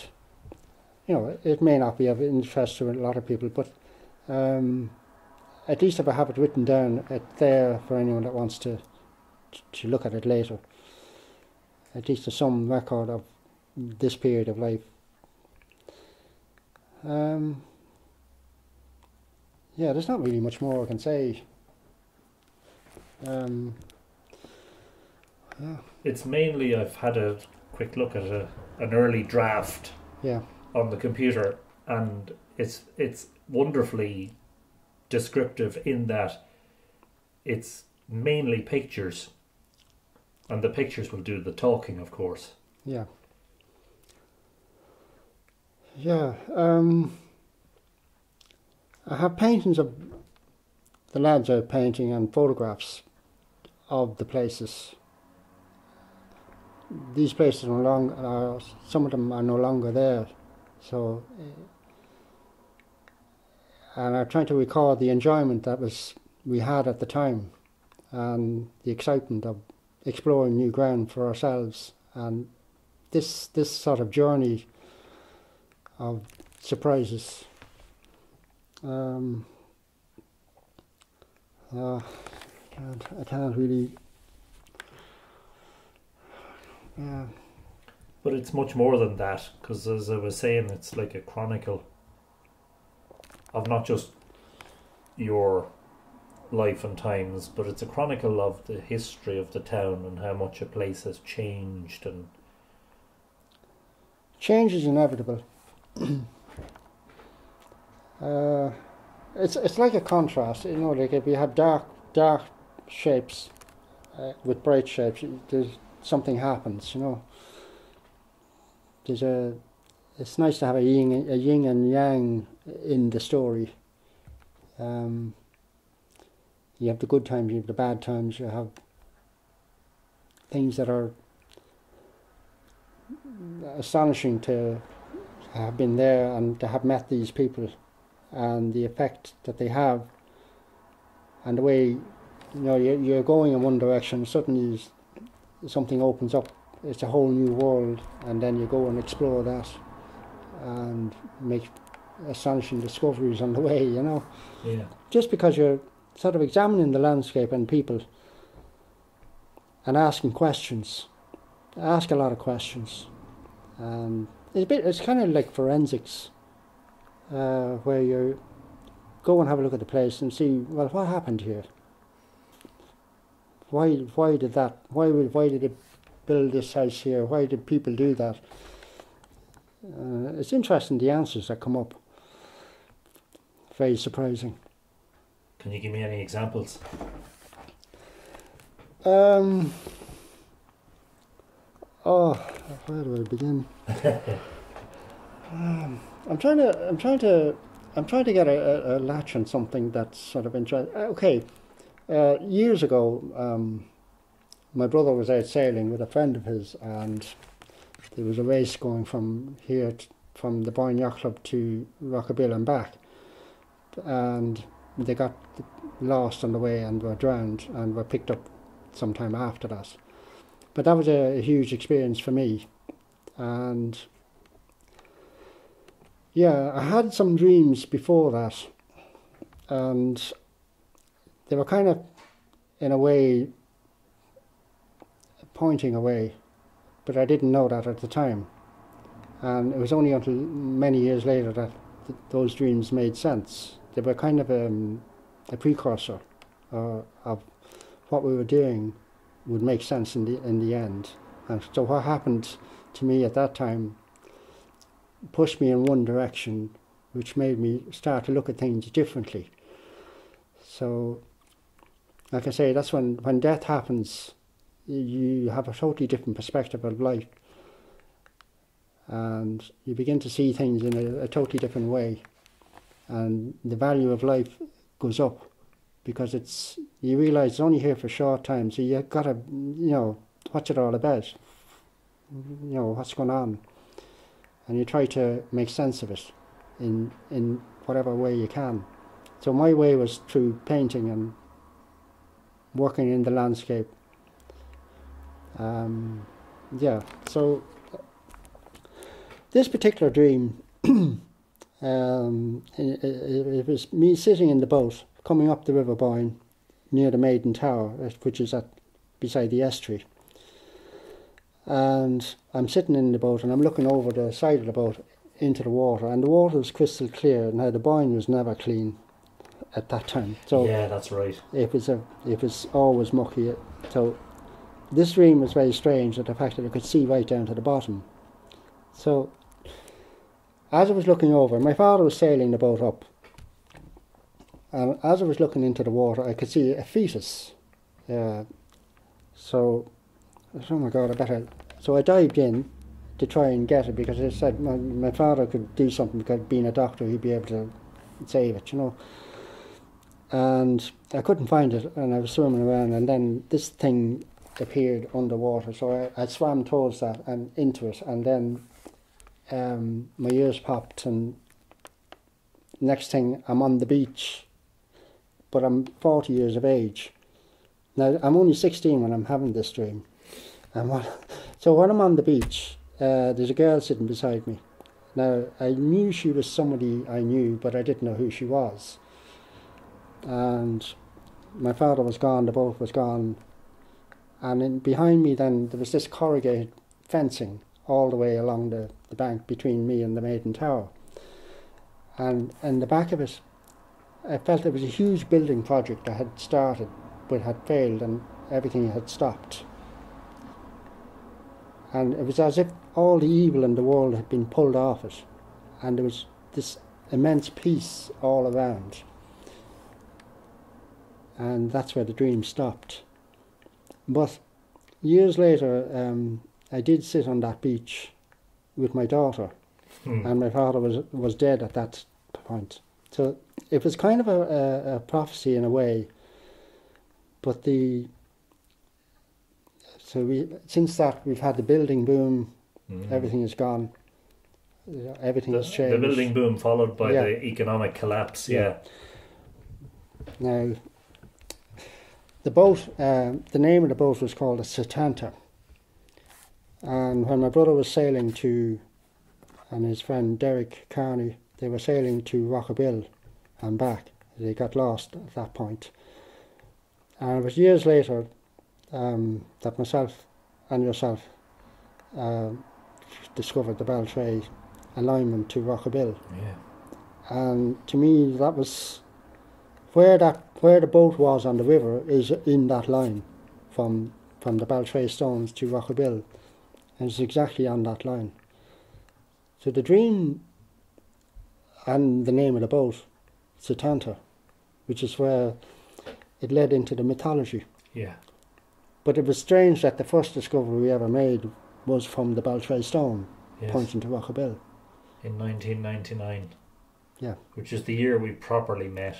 Yeah. After our, a few years after I'd met you, when yeah. you were painting, you were properly introduced and yeah. began a, an epic voyage, which we're going to talk about in the next episode. Yeah.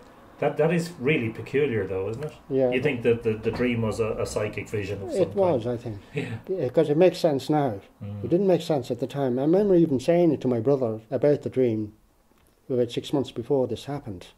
And he said, oh, it's probably the load of cheese you had giving me all these weird dreams. you see, the dream was a repetitive one, so... But that wasn't the only one. The other one was um, I was I was in this round building. It was white, all in the inside. And I remember standing in the in the middle of the room, and there was this huge lace curtain from the from upstairs, and there was a spiral staircase in the building. And I remember looking up, and you knew, you knew it was really sunny outside. And um, so I went out the back, and when I went out through the door, the sun was setting, and there were seven headstones in the ground, and there were seven brothers supposed to be buried there. And it was to do with the sun setting or rising or something, but it, that was the image. And it was years later when we were doing an exhibition in Millmount where um, it had been rebuilt into a museum now and had a beautiful white building inside with a spiral staircase. Now, it didn't dawn on me until we, uh, John Maloney, the guy that was putting on the exhibition, said, I, I want to go downstairs and set up a, a video loop. So we went downstairs and turned on the loop, and on the video came this white lace curtain blowing in the wind. And that's when the hairs on my back stood up because I said, "Oh my God, this is the this is the dream. I'm in the building with the white lace curtain." And it wasn't until that moment that I realised this was the building, and that was Millmount, which was the other major discovery of the connection between Millmount and Tara, Yeah. and it was to do with the sun setting yes. and the sun rising, Yeah. Solstice. the solstice alignment. Yeah. So you, you can't tell me there's no spiritual things. This this is real for me.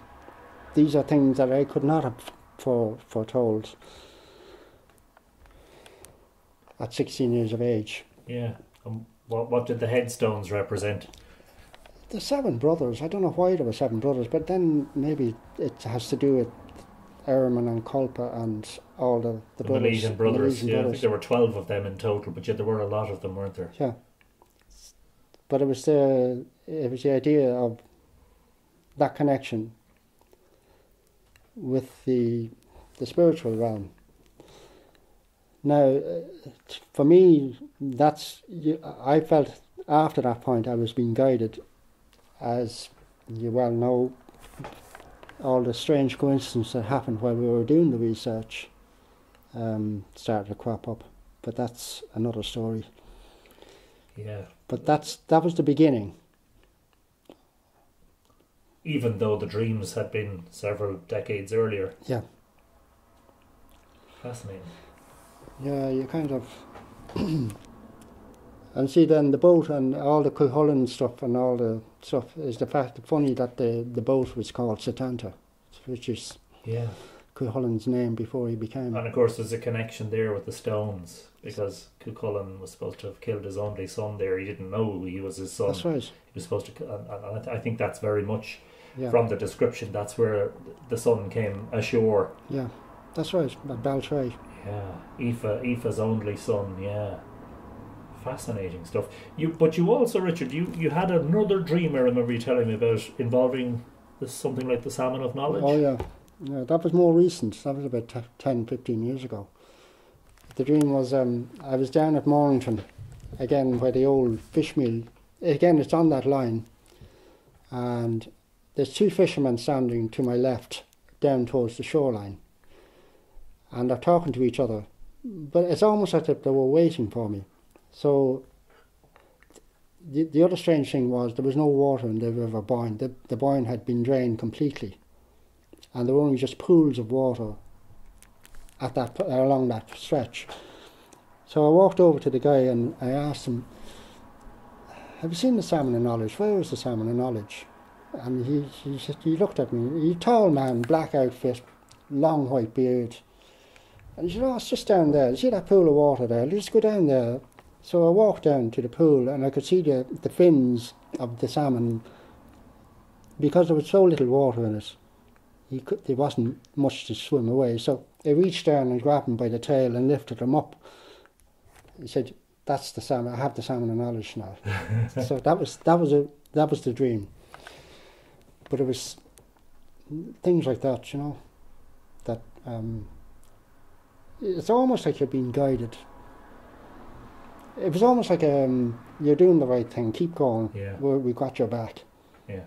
Just keep going. You're okay. We, we'll we'll make sure you're okay. Yeah. There's there's that reassurance in those in that background. There's nothing to worry about. You'll be okay. Just keep going. Yeah, because I mean I've had similar experiences, of course, so I completely identify. Uh, there may be people who are skeptical, but that's perhaps their time will come in terms of, you know, having having similar experiences. Um, but these things are necessarily, I think, laden with meaning for us. You know, it's just that that that meaning may not be explicit at the time of the dream. No. And as you say, in some cases it can take 25 or 30 years before the thing actually makes sense, which is extraordinary. That you remember it in the first place, you know. They're the kind of dreams you never forget. Mm. They're just so they're so they just stick in your head. You, can't you can't forget them. Yeah, They're so strong.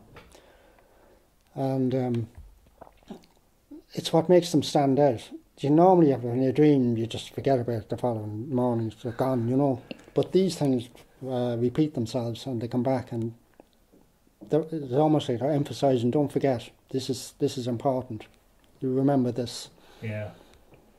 Well, your dream actually echoes mythology in a way because, first of all, the salmon of knowledge was supposed to have grown up, as it were, in the well of Segais, which I think is like um, mythical imagery for the spawning pools in the upper reaches of the river. That's right. And then, if you think about Segais, uh, it is on an alignment involving Millmount and That's right. That's right. I forgot about that. Mm, Straight line. yeah. Go through Millmount, Tara, the Well of Segais. And- Straight line. One of the myths of the Boyne, uh, the famous one is Boyne, uh, but the other myth about the Mata, the monster, uh, in the Dindshenchas, it says he licked up the Boyne until it became a dry river Oh, valley. yeah, yeah, I forgot about that. Mm. That's strange. It's, it's, it's That's a- really strange. I know, but I mean, it's the sort of thing that you and I, when we were doing our research, it was happening to us all the time. Strange.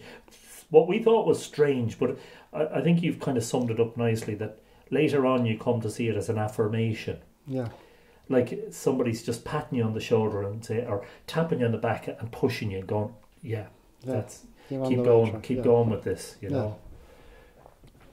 And I, I'm really, really looking forward to the next conversation because I think that's um, that's The Cygnus thing. well Cygnus and and and yeah Cygnus and and all of the discoveries and the excitement of it. You know, when do you think you might have your book? When it's finished. Yeah, there you go. there's no there's no rushing uh, such works. So, It has to be done right. uh, yeah, there's no rushing perfection. No. Um, yeah, but I, I would say that you know people don't realize perhaps that because things change and there's so much change nowadays in five years Yeah. You know i- i- that in a half century you know the ways of life and the pace of life and the appearance of towns and landscapes can completely change. And you have i think a record a lovely record in mostly in vibrant color of fairly dramatic change in Drogheda and to its people and its its streetscape. Well, it's your hometown. You want to, want to leave some memory of us. Yeah. So the artist is in essence a chronicler of the history of Yeah. the area. Yeah. In, in in in as much a way as any writer or any historian is. In fact, almost in a more valid way. I suppose, yeah, I suppose the painting is a it's another language. Yeah. I'm just trying to communicate through paint. Mm, And I think it's obvious from the conversation we've been having that you have seen that in exquisite detail. mm, Like the historian is looking at documents. right? Yeah. The artist is, as you have so poetically put, you're looking at the the uh, the patterns. You're looking at the the colors, the vibrancy. You're looking at the life. You're looking at the walls and even the stones of the walls and the different colors. That's right. You're seeing it in exceptional detail. Mm. In a way, I think that the historian can never really appreciate. Experience is the best way to do these things. Live it. Live Yeah. in it. Yeah. Given the nature of the change that you've seen, and I'm really looking forward to seeing it in print. You know, do you have any thoughts about the future and where do you see things in 10 or 20 years? Or I have no idea. No, I know, but I mean, Mm, just. I've no. I. I don't know. are you sanguine? Are you optimistic? Or are you fearful? Are you No. indifferent? The boss has everything under control. That's that's the way I see things. uh, I don't worry about it. Yeah. I don't really worry about it anymore. Not. No, I'm not afraid. Yeah. I'll take it as it comes. Fair enough. You know, it's just. It's you're better off. Um, I think I find people get more stressed out when they haven't got control over over their lives. And I think um, if if bad things happen, deal with it. Just just it's try and try and take the positive out of it. Don't um, don't try to fight it. It's it's happening. It's life. It's just that's the way it is. Yeah. And I think if you just work your way around it, you know, just there's obstacles in your way. Just sort of you'll get around it. Just you just have to believe you, you'll get around it, even if it doesn't go your way. You know, just just keep doing the best you can. There's nothing you can do except do the best you can, Yeah. and then at least you at least you've tried that. Simple but very relevant and perfect Yeah. advice. So if you go around complaining about this, that, and the other, and fighting against this and fighting against that, all you're doing is wasting energy. Just, Yeah. just get on and do something positive with what you can around you. You can't change anything that's going on in another part of the world. I can change something that's immediately around me. At least if I can do that, I'm making some positive in- impact. But there's no point in worrying about what's going on in another country. That- That's Yeah. that's their that's their fight. So it's probably fair to say you- you're not you're not really an anxious person. No. Look, um, I've been. You know, things happen. Just get, try and figure your way out. Just, Yeah. But you know, there's a there's a solution to every problem. You know, Was it? I think it's Einstein who's. Was it? I see memes on Facebook, and I don't know whether they're true or not. You know, uh, was it Einstein who is said to have said, you know, stay away from negative people. They will find a problem for every solution. oh yeah, yeah, yeah I saw that. All right, sure. Yeah. Yeah. Uh, it should be, it's better to do something positive than than, than complain and, and be negative about it. Just just okay, that's that's it. Get around it. Deal with it. Do the best you can. Yeah. Yeah. Completely agree. Yeah. Yeah. Completely agree. just just um, Sounds like you have to get back to painting. yeah, I'm doing a bit, but it's yeah, I'm just I'm beginning to I'm beginning to find a little a little fire going on now. You know. Brilliant. So I'm beginning to, I'm, because I'm looking through all my paintings for the book, I'm beginning to remember the good things. And sometimes I, I've, there are paintings that I put aside and said, oh, that's crap, you know. Now I look at them and say, God, that's, you know, that's not bad at all, you know. you know, God, I didn't realise I could do that, you know. Are you your own worst self-critic? You see, when you're in the moment, you- you're trying to achieve something, hmm. and then, well, you don't quite get it, hmm. but you've, you've done the best you can, and you say, ah, look, I'll put that aside, I'm not going to bother with that. And leave it there. And then 20 years later, you're looking at it and saying, God, that wasn't a bad effort, you know. Yeah. Um, now I can see, I can see things that I maybe I I have to go back to that now. That was interesting, and I should have kept going. But now I can I can go back to it and and study that aspect of painting, and it's become exciting again. Yeah. Oh, Yeah. I'm delighted to hear that. Yeah, I looked through on the screen the draft, and it's an early draft of your book, admittedly. hmm And I was scrolling down through all these wonderful paintings and photographs and a wonderful chronicle. I, re- I really think it's going to be a very important work. But something that struck me was wow, there's such an array of work here. It's fabulous. And you said to me, almost as I'd finished scrolling through, you said, oh, most of that is the stuff I never sold. mm.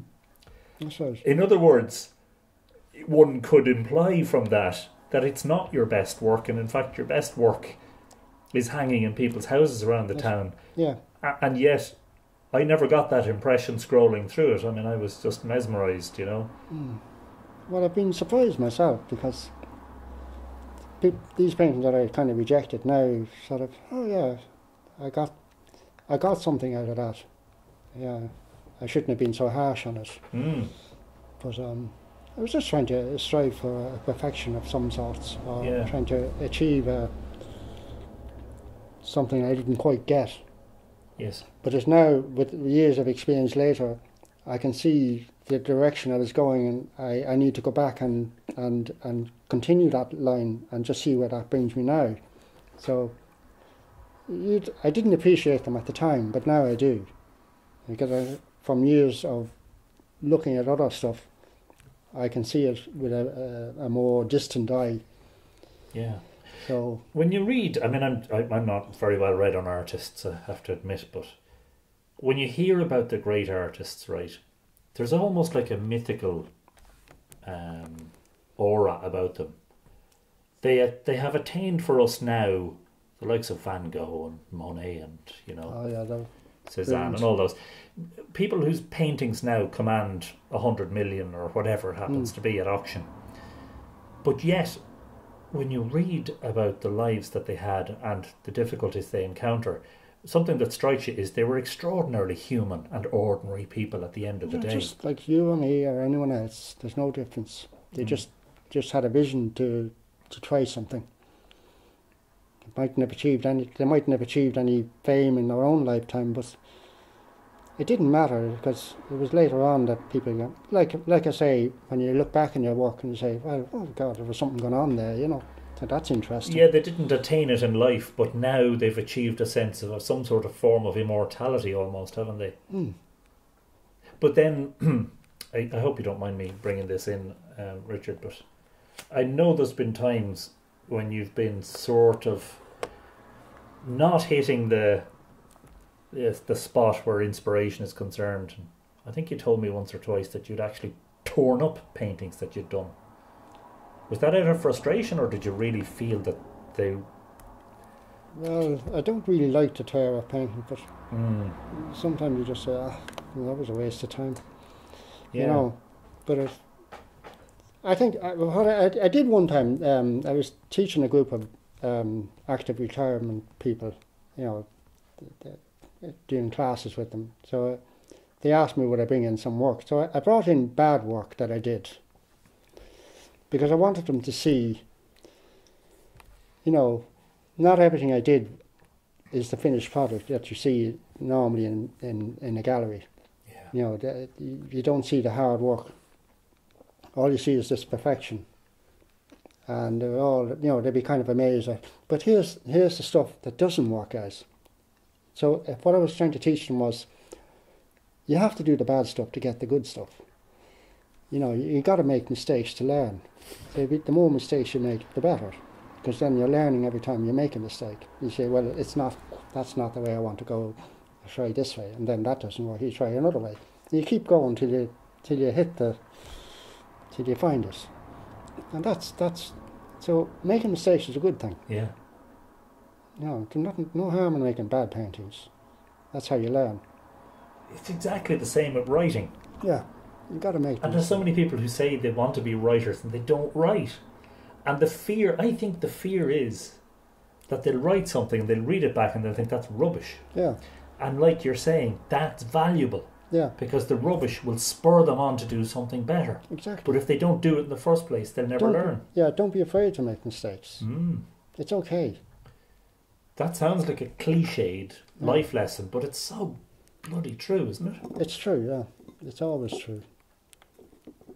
A child has to fall a couple of times when it's learning how to walk. Yeah, You know, you've gotta fall.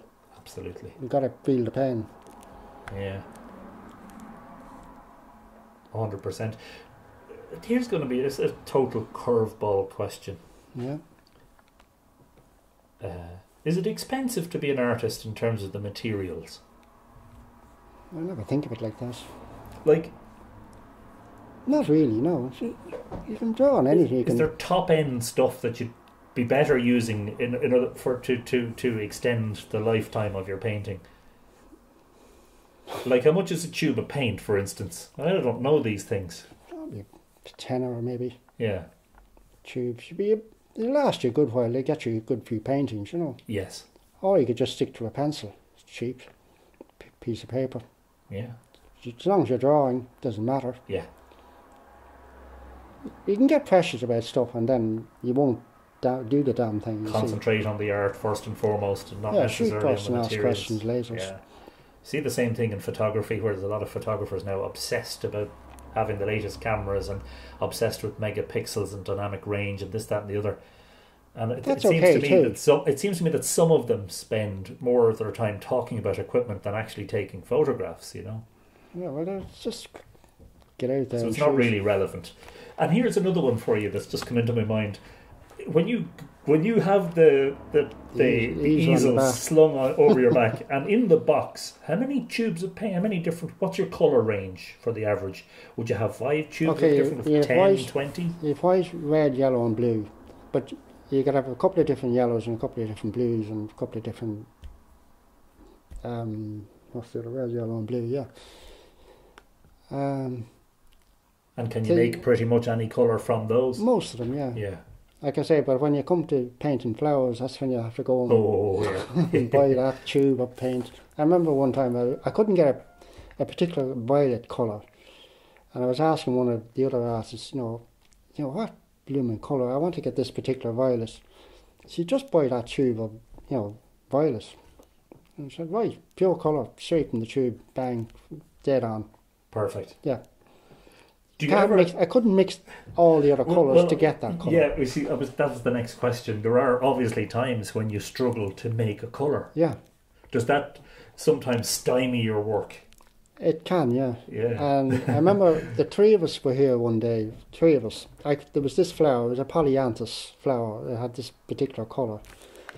And we had, at the time, we were sort of saying we were going to use French ultramarine, cadmium red, and you know, cadmium yellow, and white. And we wouldn't use black. So we get the dark colours just using the red and the blues, which worked fine until I bought this polyanthus home. I said, I'll do a still life with this one. And I said, I can't get the colour of this particular colour. Uh, so the three of us are, are there mixing colours left, right, and centre, trying to get this colour, and none of them would work. I said, "What the hell with this?" So I went down and got a this particular colour in the in the shop, and I come back, mixed a bit of white, bingo, there you are. So it just, that was a, an introduction of the next colour from on our palette, which um, we had no choice. You had to buy the colour. There's just some colours you can't mix with other colours. yeah. It's they're so pure, you know. Yeah. Do you find it difficult to paint people, uh, people's faces, for instance? I mean, I know It's- you've done port, and your portraiture is fabulous. Uh, when I'm when I'm doing portraits, um, I treat it like anything else, any landscape. All I'm doing is trying to get the right colour in the right place. And when you get that, well, the portrait comes through. Yeah. You just treat it like everything else. Mm. It's what colour is it? Where is it? Yes. Put it down. Simple. Yeah. Right. Yeah. Except for I can't paint for shit. No, I wouldn't say that now. We did a lovely little painting there years ago uh, of a tube of paint, and I thought it was lovely. So Don't Well- mind him. He does know what he's doing. Yeah, but, but in, in, in response to that, I would say that Richard, uh, as a teacher, and I know that you've done art classes for years and years for adults and for children, Mm. I find that you are eminently encouraging. You're so positive. You're so encouraging. And that, by the way, extends into encouraging the likes of me in my writing and my photography. But uh, you're almost the ideal teacher from that point of view because, in your mind, I, I guess there's no such thing as a bad artist. No, no. Just it. It depends on this on the on the character. What they want. If they're looking for if they're looking for fame and thing and fortune, they come to the wrong person. um, I think I think you have to have a pure heart, I think, and then you have to have a passion for what you. You have to find what your passion is Yeah. in your life, and it has to mean something to you, not to somebody else. You got to be yourself. You felt- sound like Joseph Campbell there, which is brilliant. Oh, have you had any students or pupils, Yeah. let's say younger kids, under 10 for instance, yeah, where they've come in and you've seen them and you kind of make a call on them fairly quickly and you think they're special. oh yeah, and, yeah. and and they have turned out to be exemplary artists or, or really brilliant artists. There's been a few that have passed through. Yeah, Mm. um, That must be very rewarding for you. Not necessarily, you're just- not necessarily taking the credit for No, it, no, no. know, but no, no. Yes, I just want to see them happy in doing doing. I want I want them to have the happiness I had in painting, yeah. and if it's if it's for them, I, I try and find out what where where their passion is, and then sort of say, well, have a look at this person, or have a look at this artist, you know, and see if see if it, that's where they want to go, and then it's up to themselves then to to follow that, but it, it's always to encourage their own belief, um, to be themselves and to find their own path, because that's that's where they, they belong. They don't have to be like anyone else. But say, for instance, um, you were talking about Van Gogh there. Supposing Van Gogh wanted to be like somebody else, we'd never see those beautiful sunflowers or the Yeah. or the, the, the wonderful starry nights, because that's that's what that was his passion, you know, Yeah. and he followed that, and that's why we're so lucky to have them now. Yeah. So if everybody, it doesn't matter. It's it, just do what you have to do. Yeah. And even if it, I mean, uh, It's not all about fame or no, no, It's art, art is psychotherapeutic, yeah, isn't it? oh yeah, because you it put it puts you in the now, and you can totally engross in something that it's it's like a form of meditation. Yeah. You know, you can really meditate deeply. I remember up painting in, in the, this pond nearby, and I was up there for about three hours painting. No one else around me, nobody there for for the whole of that time. But by the end of the three hours, I felt um, I got I got really high. If you if not, I felt so connected with everything, because at one stage I was painting this part of the, the landscape, and I was thinking that tree over there. No, that tree is not over there. Um, I mean, we're not separated. We're there's no there's no there's no separation. I'm part of all of this. So it became one with the whole landscape. It sounds, sounds like you're a, ca- a. Catholic ver- ver- verging on Buddhism. Uh, I don't know. Yeah, but it, it, was like that. That Mm. that was the sensation. It was the the total connectedness because I'd been there for so long, Yeah. absorbing, l- taking in the color and the and the and the landscape, that it just merged into it Mm. psychologically. Yeah. And it, it was kind of a realization. Well, we are, none of us are separate. Nothing is separate. We're all connected. You know, René Descartes, the philosopher. Yeah. Everything is connected to everything else. The Cartesian points. Well, that's what I felt. Everything was connected. That must have been an extraordinary feeling. Oh, it was it was wonderful. You didn't want to go home. I can imagine. Yeah. No, I just wanted to stay up there. And so they're the moments, Yeah, the exhilarating moments where you. yeah. That's what painting can do. Sometimes you're in the landscape and you're suddenly so immersed into it, because you're communicating with it. You're you're listening to what it's telling you. Um, you're pulling out the color. You're you're it's almost as, as, as if it's talking to you. You, you listen visually, and, and you know you listen to the birds and you listen to the the leaves rustling and the trees. You, you know everything is is is so part of you. Absolutely brilliant, you know. Oh no, it's, uh, I, I, if anyone can just sit still for a little while, have no one else around you, and just just sit in nature, just absorb it. Yeah. Nothing like Incredible. it. Yeah. They, they, they are the simple pleasures that so many people deny themselves because, as you say, they're stuck in traffic eternally. Yeah. They're sitting in offices. They're they're at home doing chores or they're taking part in repetitive cycles of activity that at, at their at their base are, are nonsensical, Yeah. depriving themselves of these precious moments. You know, Yeah, it's good to get out. it's amazing watching you, Richard, in the past half hour, how much more animated you've become as we've sort of. There's a real light in your eyes when you're Yeah. talking about this. You mm. can really see the effect that it's. it's No, it's just a having heaven. you. It's like stepping into heaven for a Have a while. heaven here and now, huh? Yeah. You know you're not on, you know you're not on your own. You're not alone. You're never alone. Yeah, yeah, extraordinary. Uh, it's something, if you don't mind me picking up on it, you Yeah. talked about the birds and Yeah. you, you listen by looking, but you also listen with your ears. Yeah. Now, you have a hearing problem, right? Yeah.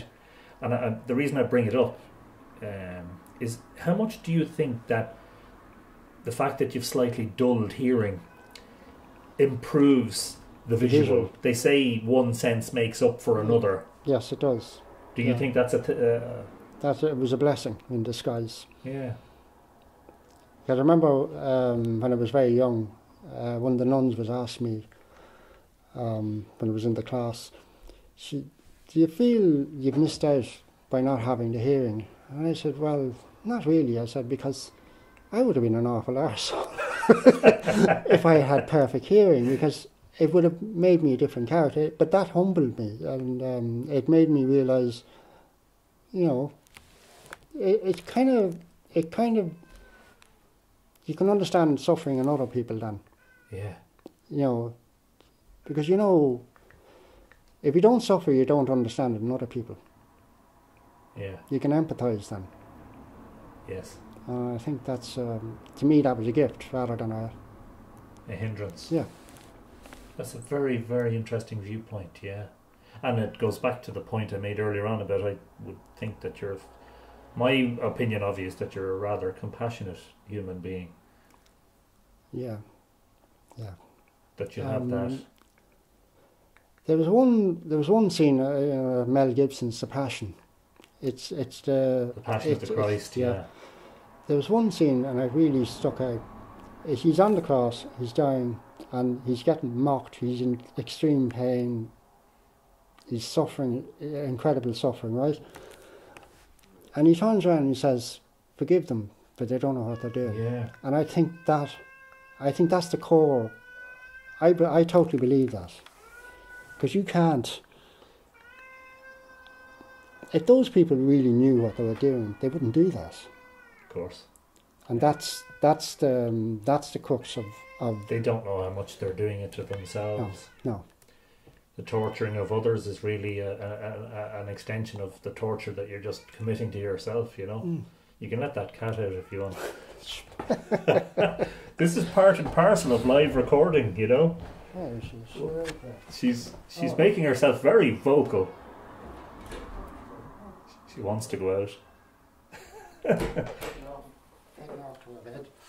But uh, as an artist, of course, um, you, I think, have a greater appreciation of other works of art. Oh Uh, yeah, In film, for instance, yeah I love you've a, I know that you've a great admiration for other artists and sculptors, but film is another media in which the artist can really come to the fore. yeah Gibson's uh, movie was controversial. Some of the critics didn't like it at all, and didn't then understand it. some of the well, some of the religious people I think thought that um, it, it it went too far in absolving Pilate of his role in the thing. You know, that he, he was listening Oh, to the, the, great- the Jewish great- priests and the elders and all the rest. There's a great that that when Pilate's talking to his wife after he's had a conversation with him, he said, "What is truth? You know what truth is." And she she says, "Yes, I do. Don't you? You know?" And he said, "No, what is it?" And she says, "If you don't, what was it? If you cannot hear it, no one can tell you." Yeah. And I thought, a stunning piece. Yeah, That's yeah. absolutely stunning. If you cannot hear it, no one can tell you. Yeah.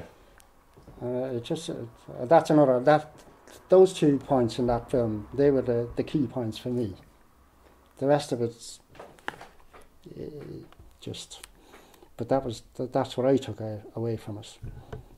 Forgiveness and um, listen for the truth. Truth is subjective, relative Yeah, in cases. but you know what I mean. You know the, the essence of it. yeah. yeah. Uh, at a particular you can't go for you can't make you can't move forward without the, without a tr- without the truth. Even if you don't like it, Yeah. The truth's always solid. It's always it's a good foundation. Um, as you say, but you have to know what it is. Yeah. So, but sometimes it's just not what you want it to be. Yeah. We live in the internet age, of Mm. course, and social media. It would strike me that there are a lot of very exceptionally talented, creative people out there. There's thousands. Yeah. That is something that you're really magnanimous about. You're you're always very praiseworthy of other artists' work when when it deserves it, of course, Yeah, in your yeah. opinion. opinion. you don't strike me as the sort of person who ever gets jealous of when another artist is doing really well. No, because it's, they You're- deserve You're it. delighted for them. Mm. They've worked hard for it. Yeah. It's it's if somebody's doing well, encourage them. It's, it's it's hard enough. Yeah. It's hard enough to be creative and do the thing you want to do without somebody pulling you down. Mm. You gotta, Yeah. you know, I, I I know where they're coming from, so Yes. just give it a go anyway. Like you, they have their own lives to live, their own human existences, and Yeah, family and personal relationships and financial worries and all the rest. they all Behind that apparent success is another human being with, you know, yeah, emotions and with topsy turvy lives in some Yeah. cases. Yeah. Yeah. It's always good to recognise that. Can I conclude by asking you what sounds like a morbid question, but I know you won't mind. What, uh, and I know you are self effacing and you're not an egotistical person, but what do you think the most apt inscription on your headstone would be? Oh God, I haven't even thought of that. well, I, I, most just- people don't. I've no, I've no, I haven't even gone that to that stage. I don't think I even want a headstone. Uh, that's that's that's bypassing the question, Richard. You know. I know, yeah. Um, I don't. I bury the ego, I suppose.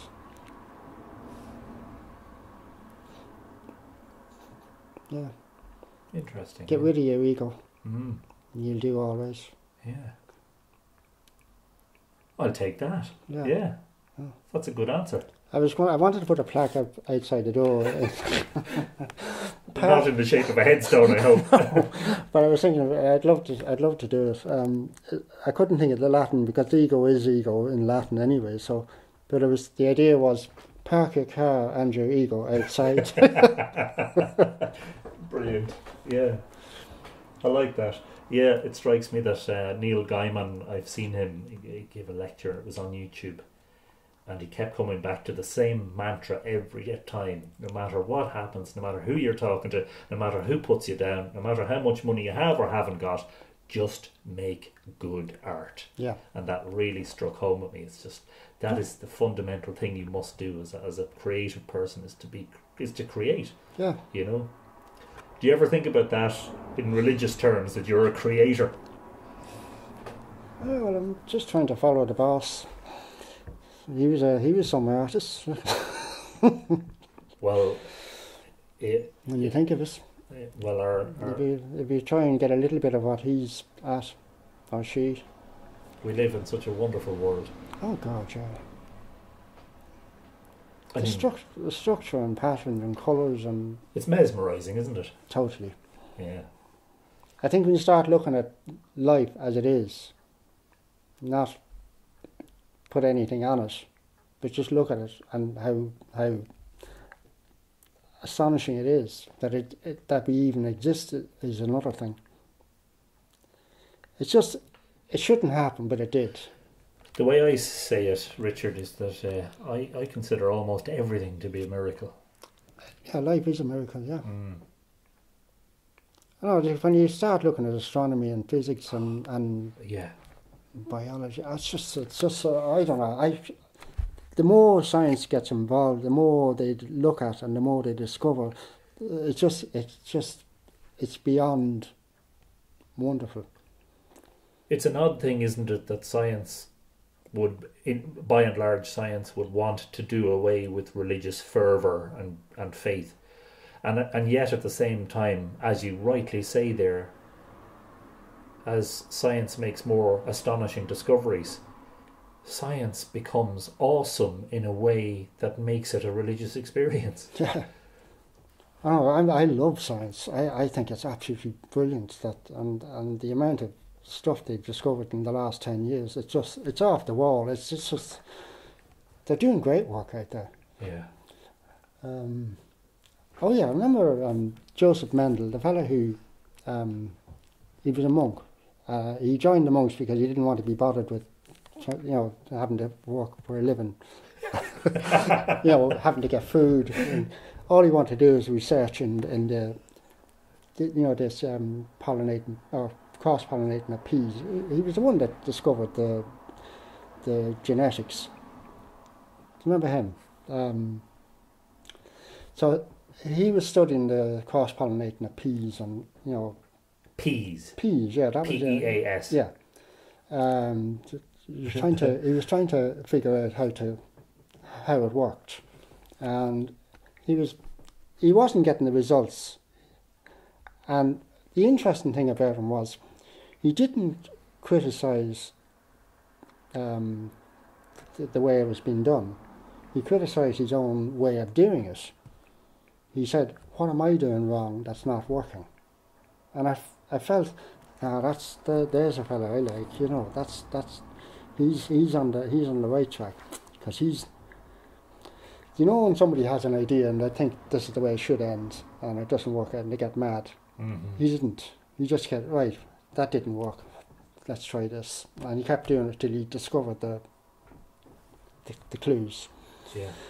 And another one was uh, Da Vinci. He said, um, Experience has been the mistress of all who have taught well, and as mistress, I'll take her.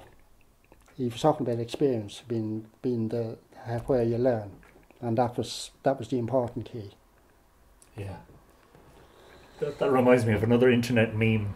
It's one of the movie stars, not Robert Mitchum, someone like that, Yeah. who apparently said um, judgment, something about judgment coming from experience and experience coming from bad judgment. Yes, yes, yes. it's something like that. Life is a great teacher, isn't it? Yeah, Can be a, a harsh uh, master at times, but Oh yeah, all for the good, I think, mostly. yeah. Your expectations don't always go Hmm. the way you want it, Yeah. but then that's where you learn. But our, Richard, your work surely is in the creation of the moment rather than in the end product or the sale. No, it's the process, Yeah. not the end That's result. where your bliss is, isn't Yeah. it? Yeah. I enjoy the making of the thing. Let someone else enjoy it, looking at them then after that. Yeah. Yeah. Yeah, I like that. Well, um, can I say what an extraordinary delight and a privilege it has been to chat to you. And uh, I'm looking forward to the next one Yeah, that's because another. that will take us down a few very interesting rabbit holes. Yes, of course. Uh, we we we'll move into the the mythological. and uh, wish you all the best with the book. Thank you very Re- much. really think it's a very important publication, and very much looking forward to seeing it in Well, print. we'll have to wait and see then. Isn't that the way it always is? We'll have to wait and see. Thanks a million, ladies and gentlemen. I'm Anthony Murphy, and we have been chatting with Richard Moore.